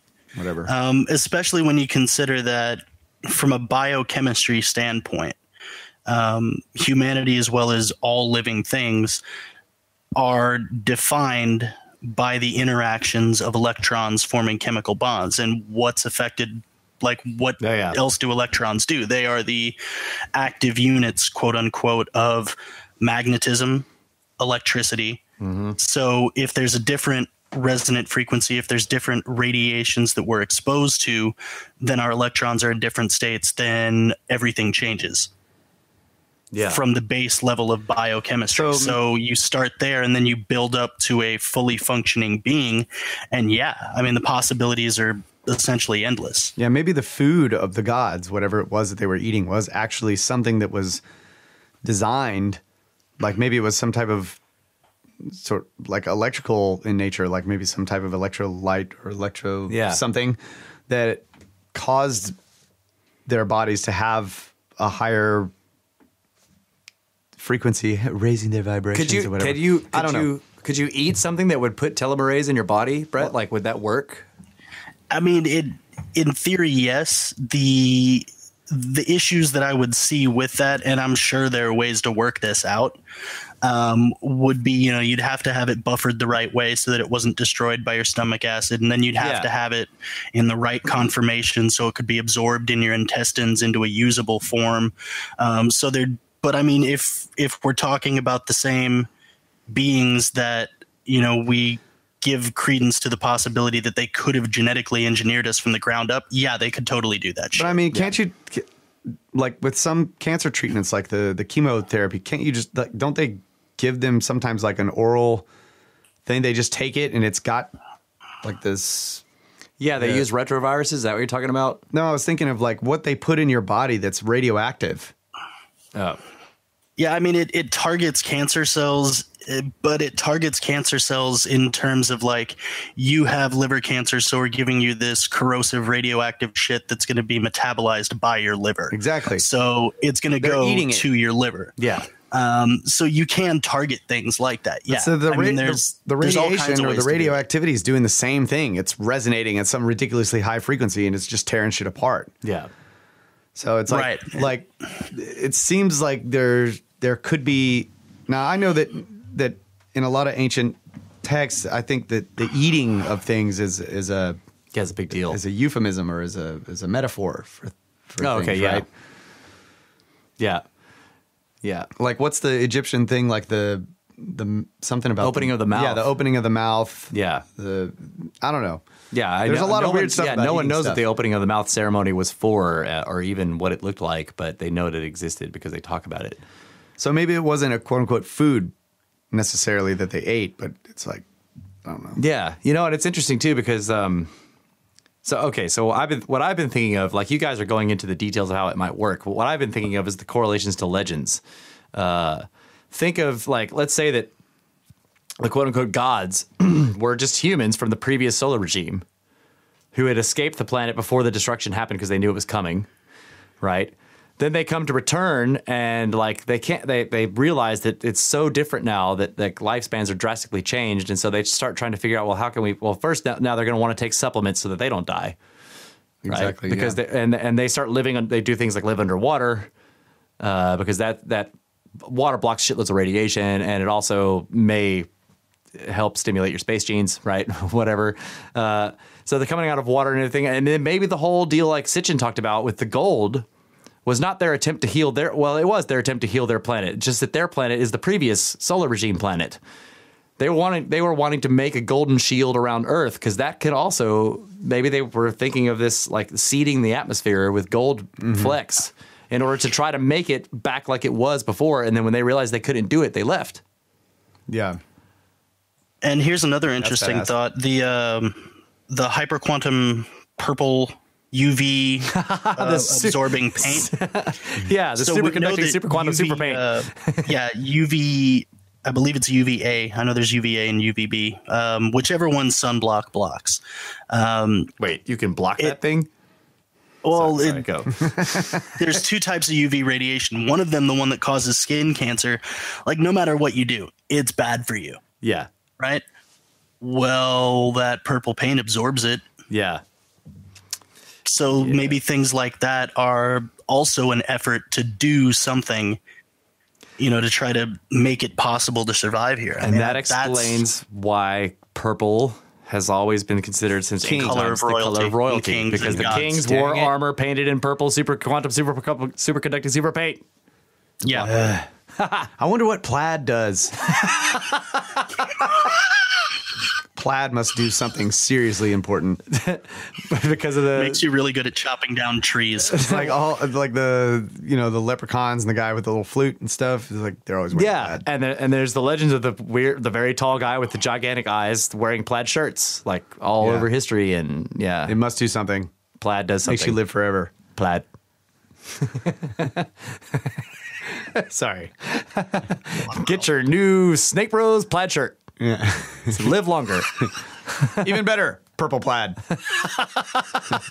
you can be the most. the purple plaid of the gods. you can be the hippest hipster on the block. That's right. Purple plaid pants, purple plaid jacket. Come on, man. Nobody's doing it.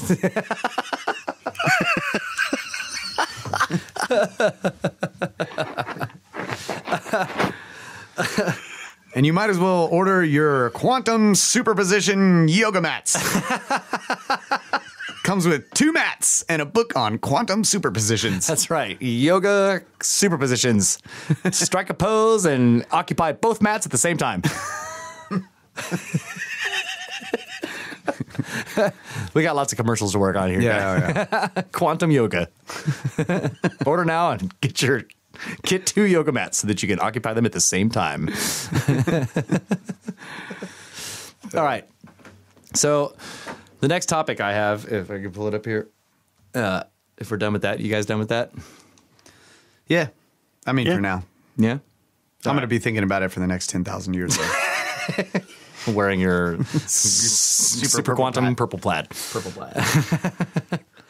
All right, so uh, we we went through Randall Carlson's whole thing on the Holy Grail, uh, which was fantastic. Now he has this he has this series of articles called "The Redemption of the Beast," and this is like a, this is a big change of topic. This is about the carbon cycle, uh, and it is fascinating and it's interesting because we have a job. Kyle and I work in where we try to grow things now, uh, or an orchard and a vineyard, and we have talked to many experts on growing things, and all of them seem like nonplussed or like sort of they kind of dismiss our thing about CO2 and plants needing it, and that's really all that they need.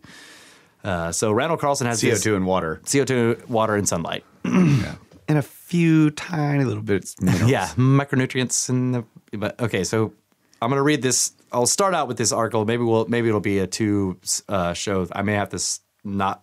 I may not be able to finish all of the articles in this show, but because it's a six part series. Uh, but I'll skip some stuff. Anyways, he says I'll begin the review by introducing two graphs from relatively recent textbooks on environmental science that depict the, that depict the carbon cycle throughout the various planetary sources and sinks. Okay, so the importance of this is that it shows you the amount of CO2 in the air, the amount of CO2 in the soil, and the amount of CO2 dissolved in water, and so on and so forth. Uh, so he goes, You will note that the amount of carbon dioxide in the atmosphere is given as 750 gigatons. You will also note that the that 560 gigatons are consumed in the process of photosynthesis by land plants. Okay. Wow. So that's most of it. Not much of a surplus there. Right. Take special note of the amount in the ocean 38,000 gigatons, or 50 times the amount in the atmosphere. The soil at any time stores about 1,500 gigatons. In the ocean, the CO2 is taken up by a variety of marine organizations, organisms, wow, that have the ability to precipitate calcium carbonate, or CaCO3, from seawater. This calpu- calcium carbonate forms the shells or exoskeletons of creatures such as scallops, uh, bryozoans, foraminifera, and another one that I can't even pronounce. Co- Seashells. co- yeah, seashells. When these creatures expire, their shells drift down and consolidate on the ocean floor, where they are eventually lithified under pressure into limestone, chalk, and marble to become part of the lithosphere or rocky crust of the Earth. This is the greatest of all the reservoirs of carbon dioxide storage. This chart does not show the estimated amount of CO2 stored in the lithosphere, but it is enormous. Before going to the next graph, uh, note that the amount generated by through both human and natural combustion is six gigatons. That's both human. right. That's both human and natural combustion, meaning all volcanoes, uh, all ocean vents, all that stuff. Okay. Tiny. Tiny. The next graphic also depicts the generalized global carbon cycle. It is it is reproduced from okay, so he reads all that. Let's see, or I won't read all that. It contains additional interesting details. The graphic in this graphic, fossil fuel burning accounts for 5.5 gigatons introduced in the atmosphere. This is one half gigaton less than the preceding chart. Presumably, the one half gigaton difference being the result of natural combustion and volcanism, which are not included in this number. okay. Storage in shallow ocean water is the same in both charts. Fossil fuel deposits are shown to contain about 4,000 gigatons of CO2, while the sedimentary rock reservoir contains upwards of 100 million gigatons. Yeah. Yeah. This is a truly staggering amount of carbon dioxide, and all of it at one time passed through the global atmosphere before it was taken up by the oceans, converted into biogenic carbon, uh, calcium carbonate, and locked into Earth's crust. Those dang clams are stealing all our CO2. this is a clear implication that the ocean acts as a powerful pump, constantly extracting CO2 from the atmosphere and ultimately sequestering it into carbonate uh, sedimentary rocks, where it remains for a very, very long, long, long, long, long, long, long, long time. The natural process of ocean uptake is constantly depleting the Earth's atmosphere of car- carbon dioxide, and if not replenished, it would relatively quickly reduce the amount of CO2 uh, to a concentration too low for effective photosynthesis. Okay, so that's the first article. So, like, if you think about this, this is the other thing that always bugs me about the whole CO2 cycle. Like, the data almost always shows historical uh, temperature trends of the planet and, and like coinciding with CO2 in the atmosphere is that the temperature goes up first. And that makes sense. Think of a Coke. You got a carbonated drink. If it's cold, it's retaining its it's retaining its carbon. CO2, its Yeah. carbonation. If you heat it up, it starts to bubble and all the CO2 comes out. The ocean is the same way. When it's cold, it can keep all the CO2. When it warms up, It starts to outgas CO2. Yeah. So the temperature rises and then the CO2 goes out into the atmosphere. They have Right. used the- Correlation is not causation. Right. They have used the uh, inexactness of of dating methods to say that it's the other way around Yeah. because there's always an error given. You know, usually Yeah. of several hundred years or whatever, they could say, well, the CO two rose up and then the, the and then the the planet Yeah. heated. Uh, okay, so let me go to the next article here. But hang on. Wait, no, I'm sorry. I, what? I had I was just working on this joke, like based on this thing that he he said in the beginning. It was like, you want to tell somebody you're really gonna kick their ass. You know, there's the thing where you're like, I'm gonna I'm gonna stomp a mud hole in you and walk it dry, like that one. It's like like I'm gonna stomp you down until the lithification of your bones, something like that, right? yeah, lithification. I love that. that's right. Stomp you down into that mud until you get lithified. All right.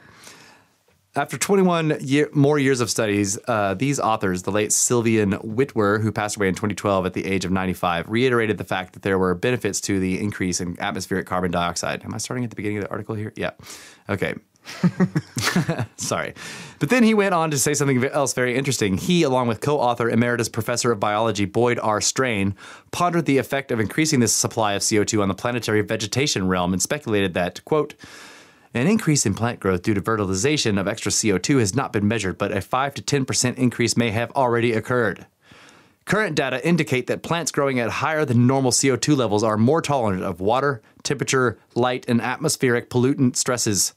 There are effects on carbon metabolism, plant growth and development, micro- microbial activity, and terrestrial and aquatic plant communities.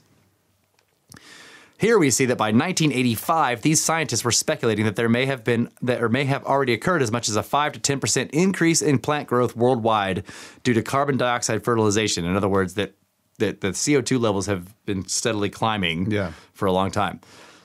But at that time, they did not have sufficient data available to confidently make such a claim. We will come back to this question directly and see that now, in 2017, which, which is when he wrote this, we do have enough data to draw some conclusions. Returning to the subject of carbon dioxide utilization in greenhouses, we turn to a 1973 report by the Economic Research Service with the U.S. Department of Agriculture. In this report, titled Global Review of Greenhouse Food Production, the authors presented a brief exposition of early studies relating to the effects of controlled increases of carbon dioxide on plants. So here's a quote from their work Carbon dioxide, along with water, is one of the two major ingredients in the process of photosynthesis. Below normal levels of CO2, often found in unventilated greenhouses, can reduce the rate of photosynthesis, while above normal levels can hasten photosynthetic activity. Okay. the expansion, uh, let's see. Uh, okay. The reason below normal levels of carbon dioxide occur in unventilated greenhouses is, that the plants quickly consume all available CO2 as they grow. And unless the supply is replenished, it will diminish to levels insufficient for continued photosynthesis, thereby stunting further plant growth. The review goes on to discuss the upsurge in CO2 utilization in greenhouses in the 1960s due to the development of safe and economical combustion sources of CO2, along with monitoring devices and plastic tubing for distribution and circulation. These innovations led to a major increase of testing and experimentation. The review describes the situation in Europe at the time. The expansion first took place in Holland. It started in February 1961 when a grower used a uh, used small paraffin uh, or kerosene oil warming stoves during the daytime hours on lettuce and obtained exceptional quality and weight. The effect was traced to CO2. Follow up work at the Glasshouse Experimental Station in Naaldwijk showed outstanding results on lettuce and strawberries and good results on tomatoes, endive, spinach, and radishes. The weight of the lettuce was increased and growth accelerated by 20 to 30 percent. During the 1962 63 season, the area of treated lettuce expanded into thousands of acres, and 25% of the early greenhouse tomato growers used CO2. By 1972, the total area treated in Holland was about 7,000 acres. Okay. so he says a 1968 or 1983 study on four plant species conducted using transparent open topped chambers placed in fields.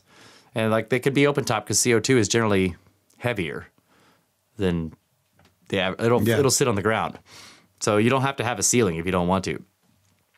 Carbon dioxide was fed into the chambers by means of a, a three-quarter horsepower fan and metered day and night. A high-pressure manifold allowed control of the ventilation uh, airstream to generate three different CO2 concentrations. The tests were conducted by three botanists and report and a report describing the tests and their results appeared in the Journal of Science. The essential role of plants in the carbon cycle makes them a logical starting point for assessing the impact of elevated CO2 on living systems. Through photosynthesis, plants form the support system for the rest of the biosphere. Since carbon is a chief input in the food producing process, and he underlines this part any appreciable response of plants to changing CO2 concentrations could have far reaching implications. The four species upon which the tests were conducted were corn, soybeans, uh, loblolly pine, and sweet gum trees. The plants were grown in pots and exposed to the different levels of CO2 for a period of three months. All plant treatment protocols, such as watering, fertilizing, light exposure, were controlled and kept consistent. The carbon dioxide concentrations vary between 340 and 910 ppm, parts per million. The results of the test was that, quote, growth was enhanced in all four species, yield increased for the two crop species, and wood volume increased for the trees. And in addition, plants growing in atmospheres containing 520 to 910 parts per million CO2 did not undergo the wilting that we commonly observe for control plants on hot summer afternoons, when the rate of water uptake was exceeded by the rate of water loss. This is negative vapor pressure. Wilting on hot afternoons inhibits leaf expansion and photosynthesis at a time when other environmental factors are most favorable for rapid carbon fixation. Thus, a corn plant growing in an atmosphere with a high level of CO2 was able to continue fixing carbon and avoided wilting even though it had a greater leaf area. Oh yeah. And so, like, I'll I'll stop there with the articles, but he basically ex- explains. Uh, he basically explains that the, the the reason this happens is because the leaves, the plants, all grow extra shells and layers of cells on their leaves. Yeah. and they they reduce the amount of stomata, which is the mouths that the plants open in the leaves to breathe in CO two. So they drastically reduce stomata amounts because they don't have to have so many of them to get the CO two they need. And thus, and the, it's the open stomata where they lose the water. Right. So they become massively resistant to pathogens and water loss and all kinds of stuff.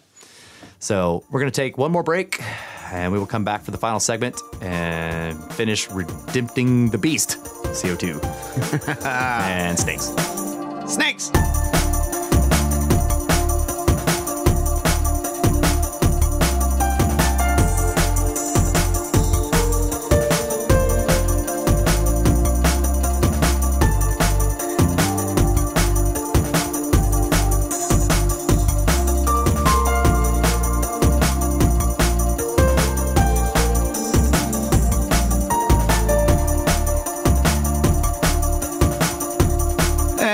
Welcome back, ladies and gentlemen.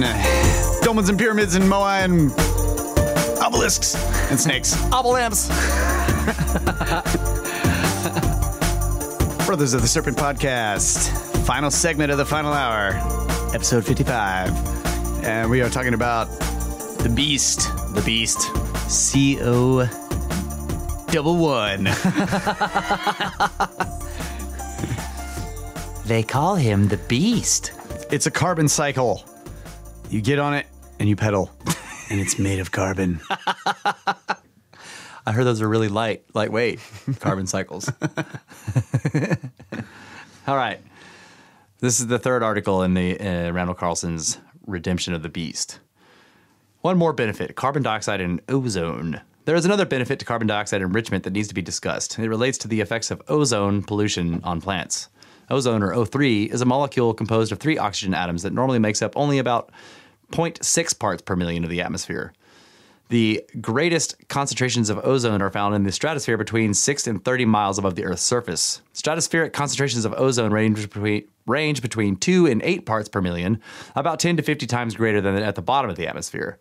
At this height above the Earth's surface, ozone provides the crucially important service of intercepting ultraviolet rays, which are very damaging to living things. However, at low atmospheric levels near the Earth's surface, ozone can become highly phytotoxic.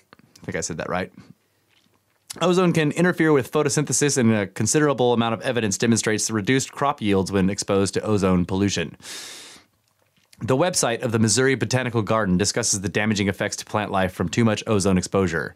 Quote, Ozone is the most damaging of air pollutants to plants. The action of sunlight or ultraviolet radiation on mol- molecular oxygen and oxides of nitrogen spontaneously generate ozone, and ozone can move across great distances to cause damage to plants far from its origin and therefore, uh, therefore is classified as a non point source pollutant.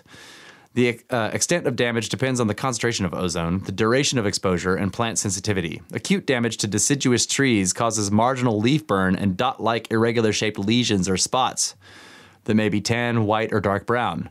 Symptoms may spread over entire leaves. Another common symptom is bleaching of the upper leaf surface. Acute damage to conifers causes browning at the same point on all needles in a bundle or needle cluster. Uh, due to the known damaging effect of ozone on plants and knowing that atmospheric levels of CO2 are rising and would probably continue to rise, and that many of the same industrial practices that added to the growing carbon pool also contributed ozone to the atmosphere, a number of scientists have looked at the interactive effects of carbon dioxide enrichment and high levels of ozone.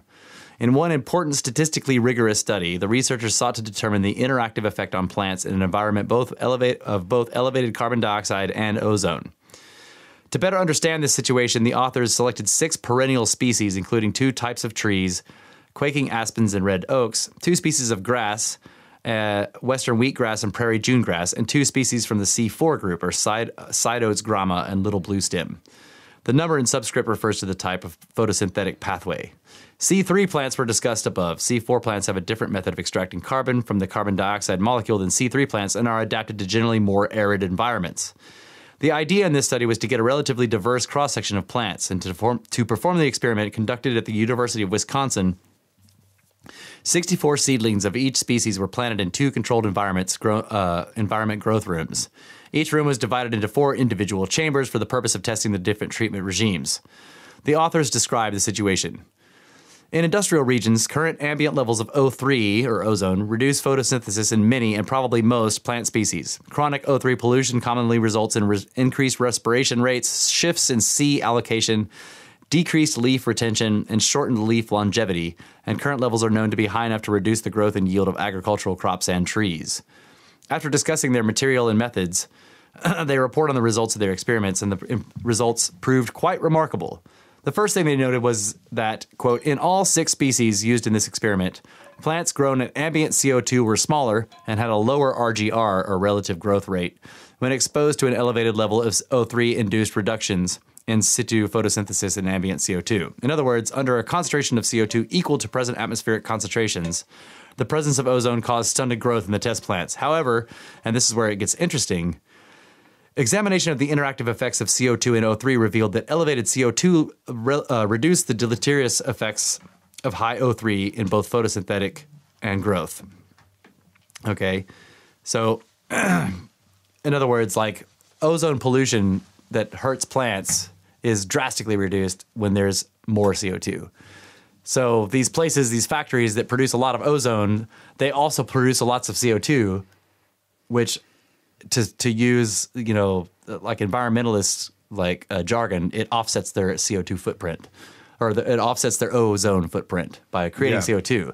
But they're always wanting people to drastically reduce their CO2 footprint. And you're like, well, wait, Yeah. wait, you hate plants? Why do you hate plants? The- so that's Article three. Let's see, to go to four. Uh, I thought that one had the greening. Maybe this one is the one that has it. Okay, part four.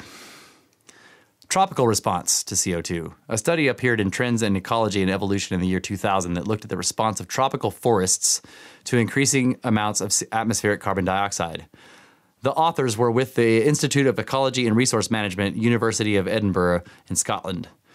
Their report, appearing in the pr- uh, perspectives section of the journal, began by discussing what they presumed to be the inexorable future rise of atmospheric CO2 concentrations due to fossil fuel burning and land clearing, and the implications of this increase to global climate change. They then qualify their statements by saying, quote, however, these changes are meshed within an immense natural global carbon cycle that is still poorly understood and that will almost certainly prove provide new surprises. Hmm. Well, they never say that part on the The two things these authors emphasize should be kept in mind before continuing the immensity of the natural carbon cycle relative to the contr- contributions of humans, and the fact that this immense natural phenomenon, which in the author's words is still poorly understood, is central to the question of climatic consequences. If the authors are right that the immense natural carbon cycle is still poorly, still poorly understood, how is it possible to be so absolutely certain of outcomes that we can declare the debate over and the science settled with respect to the matter of climate change? yeah. A recent review of experimental studies growing trees in open top chambers indicates that a 300 ppm increase in atmospheric CO2 concentration stimulates photosynthesis by 60%. Damn. That's just 300 ppm increase. Like, in other words, we go from whatever the 400 we have now to 700. Yeah. That's not even doubling it. So, okay, so 60%. The growth of young trees by 73% and wood growth per unit leaf area by 27%. It seems probable that there will be a similar response in natural forest ecosystems. In the context of the notable findings of John Lloyd, uh, or the, the authors of the study, they proceeded to discuss the implications for the tropics. Quote, because of their intrinsic high productivity, tropical forests are a prime candidate for such a C fertilization response, carbon fertilization. And the crucial question has been to what extent such a response might be limited by nutrient availability, right? This is Yeah. what we have to deal with. In particular, by low nitrogen or low phosphorus. However, Studies referenced by Lloyd have shown that plants might increase their nutrient acquisition process by investing in my, mycorrhizal colonization and by mineralizing nutrient reserves in the soil by the product uh, production of surface enzyme systems and organic acid exudates. Badass. so because they're they're getting more CO two and they can do They're able to use more of their own natural their own resources to burn stuff out of the soil. yeah Yeah. heck yeah In other words, if it, it is entirely possible, if not likely, that plants in a carbon dioxide enriched environment will develop the means to more effectively utilize available nutrient supplies. Uh, mycorrhizae are actually two different entities, a plant and a fungus, existing in a symbiotic or mutually beneficial relationship. Various kinds of fungus associate themselves with a particular plant through the root system. It has been found that the mycelium of the fungus can perform a number of functions beneficial to the plant. For example, accessing sources of phosphorus unavailable to the plant alone. It has been found that plants in association with mycorrhizal fungus are more resistant to diseases and the effects of drought. These fungi are important in the colonization of barren or desolate landscapes that have been devastated by catastrophic floods, fires, or vol- volcanic eruptions and provide greater protection for plants growing in soils with high metal or acid concentrations. They call attention to one of the important variables in the response of plants to rising CO2. If plants become more efficient in the process of nutrient uptake, it mitigates one of the limiting factors of plants' response to increased carbon dioxide concentrations. In many of the hundreds of studies conducted on plants' response to increased carbon dioxide, nutrient, avail- nutrient availability, along with availability of light, was most frequently the limiting factor in the plant's exploitation of carbon dioxide conferred advantages. If this turns out to be true, the plants the plants gain improved means of accessing nutrients in the soil, thereby increasing their bulk mass available for carbon uptake. Then, as they point out, a small and steady increase in forest productivity can produce a large net carbon sink. In other words, the increase in biomass increases the, uh, the ability of the forest to consume more carbon dioxide from the atmosphere and transforming it into greater plant mass. The incre- increased growth and plant mass, the forest in turn consumes more carbon dioxide in a positive feedback loop, removing it from the atmosphere in the process. So, that's that's really cool like it's it's like a a balancing act really right, right. The plants are the the the more CO2 you have in the atmosphere, the bigger and better the plants get at breathing it out of the atmosphere yeah because they use it to get bigger and better. right that's badass So, like there's, again, there's all these things that we you know we do these soil samples and we'll send them off and they come back with all of this stuff in, from the chemists Yeah. and the chemists will recommend you know adding All this micronutrients. yeah adding this or that to your soil because ultimately you know whatever you're adding will help break down some some compounds Yeah. into these various micronutrients that the plant needs. Yeah, but they never point out one of the main uh, chemical reactions going on, which actually results in more of the of the biomass in the soil biodegrading. And creating CO2 because like it, it'll reach certain levels of acidity or or whatever whatever its acidity level is yeah, and it'll kind of neutralize and it and, and the biomass will stop breaking down right, so when you have bio biodegradation, you you have released CO two. Right. So it's like that's why we use composts. You know, you're putting all of this this plant matter and you're adding water and you're it's getting hot and it's going through all these chemical reactions. right. And it isn't because the plant needs to eat that compost. It's Right. because the compost decomposes and generates CO2 That's in a right. cloud around the plant. Right now, there's also the argument that it it's because it's decomposing and and it has like the whatever whatever the chemical situation is, it's easier for the plant to get you know the potassium or whatever. And Right. uh, actually, I don't think that the plants even use that. The potassium does something else Something in the else. soil that allows it to.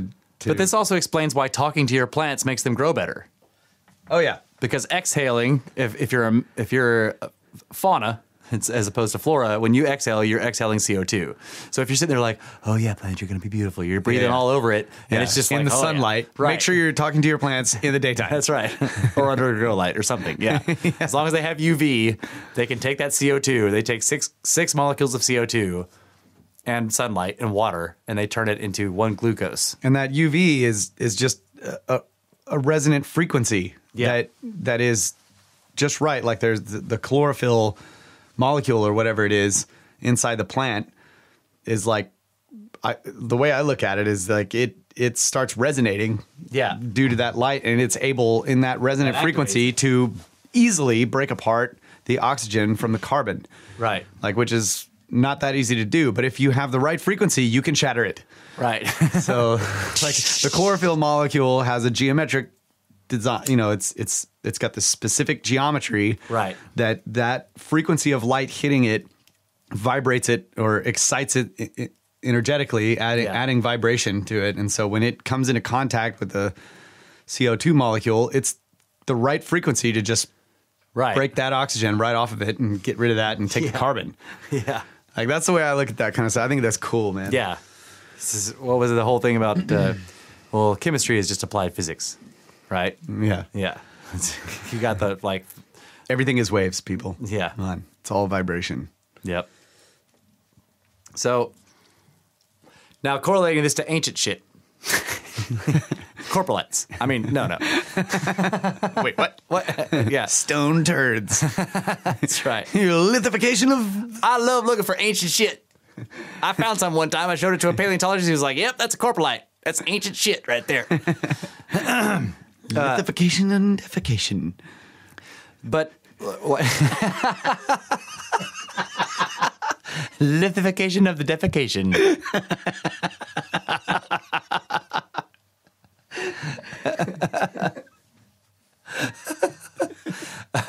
All right. So if previous to the end of the ice age or whatever, uh, you know, before the cataclysm that changed everything, if we had a massively increased CO2 amount, then we would have had, we were, and we were talking about this, uh, the Watcher and I were talking about this in the break, we would have had megaflora. Yeah. Okay. And that explains megafauna. Like you can't really have megafauna without megaflora. Like you need like you know because these like uh, like a single mammoth needed like multiple tons of biomass to sustain just to, to sustain itself every day.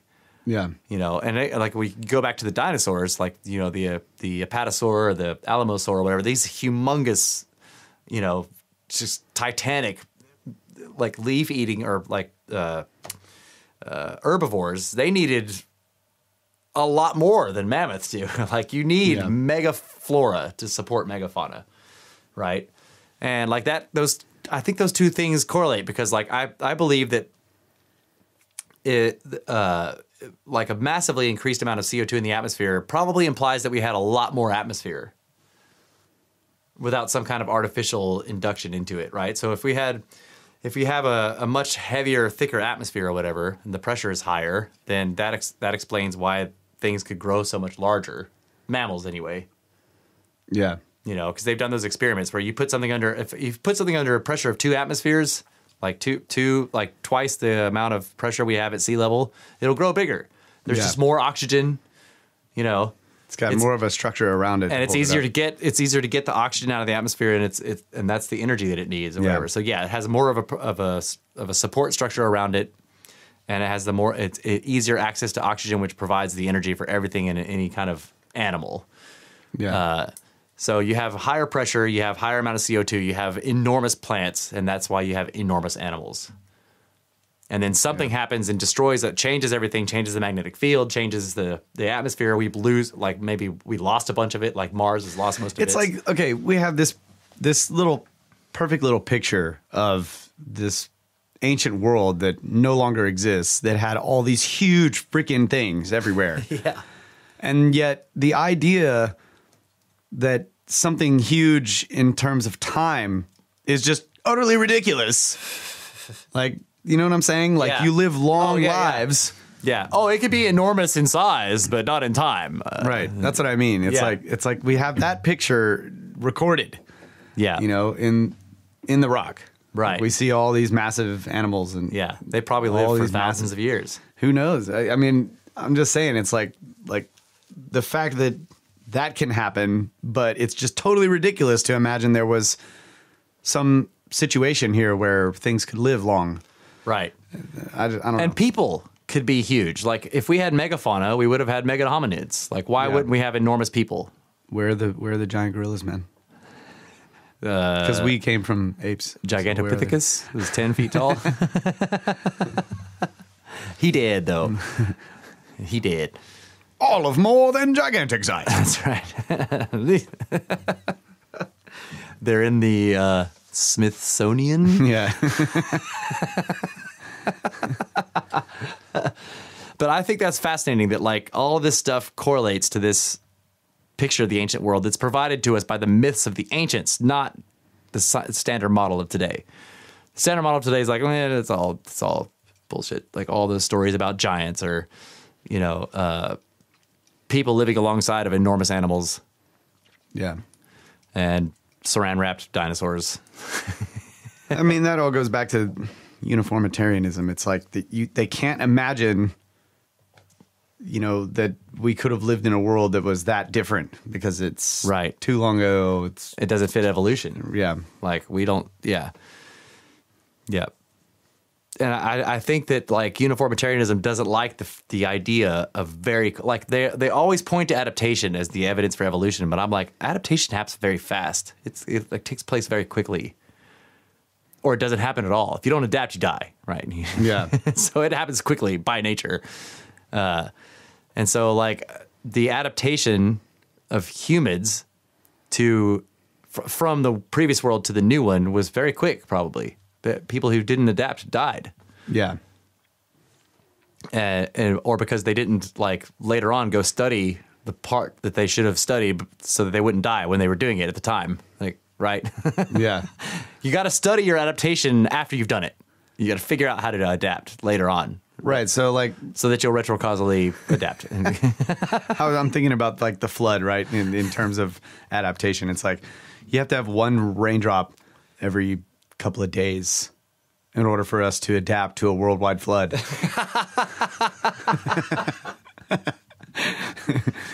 it's like you know, in in ten million years, we're we're all walking around in puddles. right yes there was a worldwide flood Yeah, over tens of millions yeah. of years Fifty million la- years later, we're up to our necks in it. we're adapting I, I think Yeah. So their, so their necks grew a little bit longer over the next 10 million years. giraffes Giraffes, that's right. giraffes survived the flood because necks That's why our breathing areas are at the top of our bodies. That's right. Because there was water everywhere. we used to breathe through our feet for the first four or five feet. so we became six feet tall, and our breathing apparatus was at the top. That's right. That's right. And we developed these little hoods, our noses, so that whenever a wave came, you could keep your air and it wouldn't splash into your head. Right. Those waves came really slowly. That's right. It took them thousands of years to develop. and then we learned how to swim. or somebody got fat and floated. Whatever. Yeah. I don't know. Adaptation. Get fat, float. That's why we're all obsessed with salt. Because it makes you float in the water. Because, yeah, when you add it to the water. dang it, all this fresh water, I'm sinking. yeah. I remember diving for, you remember diving for lobster uh, in the Caymans? Yeah. In the bay, which was like incredibly salty. Yeah. And like you couldn't do it. you try to dive under the water, just like, it was so hard to stay down into the water. Yeah. And it was really cloudy. And I remember getting down into some trench Yeah, and then you In see the- the lobsters all on the side. Yeah, yeah, and you're like, yeah, this lobster, and then some big shadows like by you, and you're like, oh my god, Oh my god! I'm getting out of there. I don't think I want to dive here anymore. That's right. Now you know why all the lobsters are hiding in those holes. oh man. So I want to th- like pull back to a theme that we were talking about a couple of shows ago about the like the sort of concealment of this whole thing. Like why why uh, like why are there specific things that get hidden like the like the longhead skeletons or the giants? Uh, you know, they don't hide like the ancient cave paintings unless they find one in a place where it doesn't fit the story, like Malta, right, where they erased the bull, the bison bull off the wall in the hypogeum. Yeah, uh, so like when you look through this stuff, you see like okay, so they're telling us things and they're telling us things, but there's very specific things like that that get concealed or get hidden, like the ring watch that they found in the unbroken tomb in China. You know, like they told us about that. Why? Why did they tell us about that? It's an out of place artifact and it's impossible to, to explain. I have no idea. I, I don't. I mean, there's like different groups of people doing different things, so it's kind of hard to say like why one piece of information gets out. I mean, not necessarily that it was on purpose, Yeah. you know. like in China, one of the things that they definitely hid, or not hid, but there was there was a sort of a multinational effort at digging up these areas where they had they started finding these mummies that were obviously very ancient in in China, and they were having red hair blonde hair, Yeah. braids, and then one guy one guy famously asked like, can can I take can I get the fingerprints off of them? And the Chinese guy was like, can you tell their genetic ancestry by their fingerprints? And the guy was like, yes. And he was like, no, you can't take their fingerprints. Mm. Right. He doesn't, because China's story, its own internal story about their land is that they've always been there, right? Excuse that, me. That those people, that they, you know, it's a, it's part of the totalitarianism of it is like they have this history that they have told all their people. And they can't allow that story to be upended by there being white people there thousands of years before they were supposed to be there. Yeah. So they can't allow this British scientist to get the fingerprints off of these red-haired mummies because that would destroy their story. yeah. So that that, make that makes sense. You know, yeah, it makes sense, but that, that goes back to the indigenous argument. yes, exactly. But But all that stuff does. That's, I mean, that's really, in my opinion, we've talked about this before. That that that seems to me to be the best answer.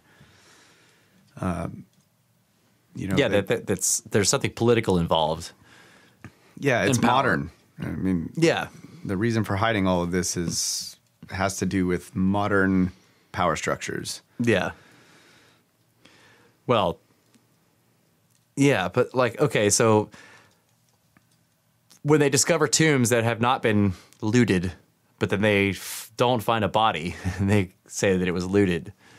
What's happening there? Because the people who would normally are normally running the power structure did not do that. They, you know, they're they're breaking into the tomb for the first time. and They're telling people like, well, you know, they're all this treasure, but there's no corpse. Yeah, maybe they didn't do it. I don't know. Yeah. So you're saying that like maybe they, they hid it or whatever. If it was a giant or a long head, like, Yeah. what are they going to do with it? Send it to the Smithsonian. Yeah, publish it? No. But people have published those stories. It's just interesting to me that like sometimes it looks like somebody else was hiding the body. Yeah. But I mean, like all those stories, like that that Jim Vieira is collecting from all the you know these major newspapers doing stories about giant skeletons being Yeah. excavated and all that kind of stuff. Like there was a time when there was no control over that, and then you know you Yeah. start seeing these these this this big uh, fight with science and religion and Yeah. you know what's the right story? And then we have evolution and all that. And like all the quote unquote scientists latch onto that idea. And it's like oh yeah yeah, this is the way it, it happened. Right. Uh, to discredit you know all of these you know mainly I, I guess the Christian creation idea Right, which you can also view as the older power structure too. Like it was an Yeah. upending of an older power structure. Right. Like, so they built this whole thing, and then these these other things that get in the way, especially things that point to the idea that these myths in these ancient quote unquote religious texts are correct. Yeah. They've got to no, uh, that, that, you know, get rid of that. Yeah. But it's weird too because at the same time, they're standing on the shoulders of men like Newton, Copernicus. giants? Yeah, standing on the shoulders of giants. Like, I always point this out. Like, previous to about 200 years ago, everyone was religious in some way or another. Yeah. So, all of human development, from wherever you think it began to 200 years ago, we can like lay at the feet of people who believed in a god of some kind, religious people. So to turn around now and be like, "Whoa, that's stupid," blah blah blah. Well, you know, well, uh, I'll tell you what. Why don't you start at the beginning, and then get all the way to where we are now, and then tell me that. Like in other words, like you're standing here having like less than 200 years of development from people who are not religious, and all of their development is based on the work of all these other people who were yeah. you know like this the, this technological world that we have now did not like spring out of nothing starting from 200 years ago Right. it stands on the shoulders of the giants and the giants were religious people yeah. thousands of years of them right so it- yeah i'm like that was a sort of a an aside but the point I'm, i guess i'm getting at here is that like i do seem i do feel like there is a deeper attempt at hiding history that is just helped along by the power structure deal and this sort of like uh, like it's it's I think the fight between religion and science is largely a kabuki theater. There are some people who really do think that way, but they're not usually scientists. You know, it's like what the, the deal with you get a scientist drunk or whatever, and he'll tell you all the anomalies that he's seen, and they're crazy, right? And like, Yeah. that I, and a lot of paleontologists, you know, like are the, are not very strong believers in evolution, even though they will say that they are when they're publishing their papers. They follow the model. Yeah. But like this carbon cycle deal, I mean, like back in the 70s, they're doing all these tests, and now Yeah, you don't ever hear anything found. about that. But Right. all the major greenhouses in the world that are producing stuff are using c- massive CO2 tanks in their Right. gas and their shit. Right. Yep. But it's like, don't publish anything about that. Right. You know, don't don't show the results of any studies with CO2. Like, None of the journals will publish it if you try to write a paper on it.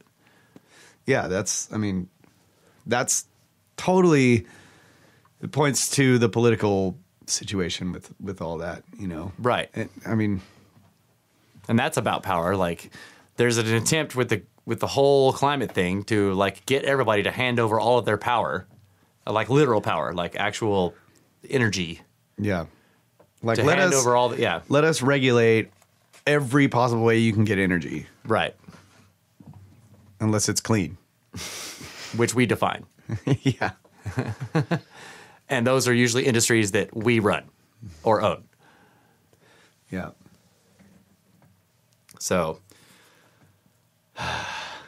on that note, that's the end of the show.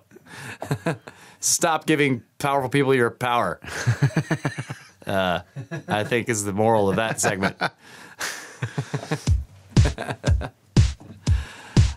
All right, folks, that was the end of 55. Hope you enjoyed it. Uh, I want to thank all the same people I usually thank, except that I want to add Brenner because he gave us this fantastic Sands of Time thing Yeah. and a monitor. Thank you, Brenner, for uh, for contributing to this pyramid scheme by giving us toys for the Tangent Cube. Yeah. He gave us this 30 second or 30 second, 30 minute timer thing so that I actually know when the segments are ending now. It's awesome. And a big monitor so that we can we no longer have to switch back and forth between the stuff that Brett is saying and the actual audio being recorded. Uh, but also thanks to Kyle for all the producing. It's as always badass and keeps getting better. Thanks to Kyle and Ty for all the music. Uh, I probably made some of that music at some point, or maybe I was like sitting next to Kyle when he's making it. and I was like, "Yeah, bro, that sounds badass." Thanks to Brett England, the Watcher, for keeping us on the straight and narrow in terms of the truth. Thanks to Laura for all the intros. They are awesome. Uh, I think that's about it, right? Yeah. I think everybody Yeah. Thanks to Mr. Todd Mulville for donating to the pyramid scheme, giving us pie. Yeah, buddy. a little slice of pie. Um, PayPal took a little slice Take, of your pie. PayPal took a bit, bite out of the pie. Yeah. and that's it. Good night, Adamu. Get some CO2. And some magnets.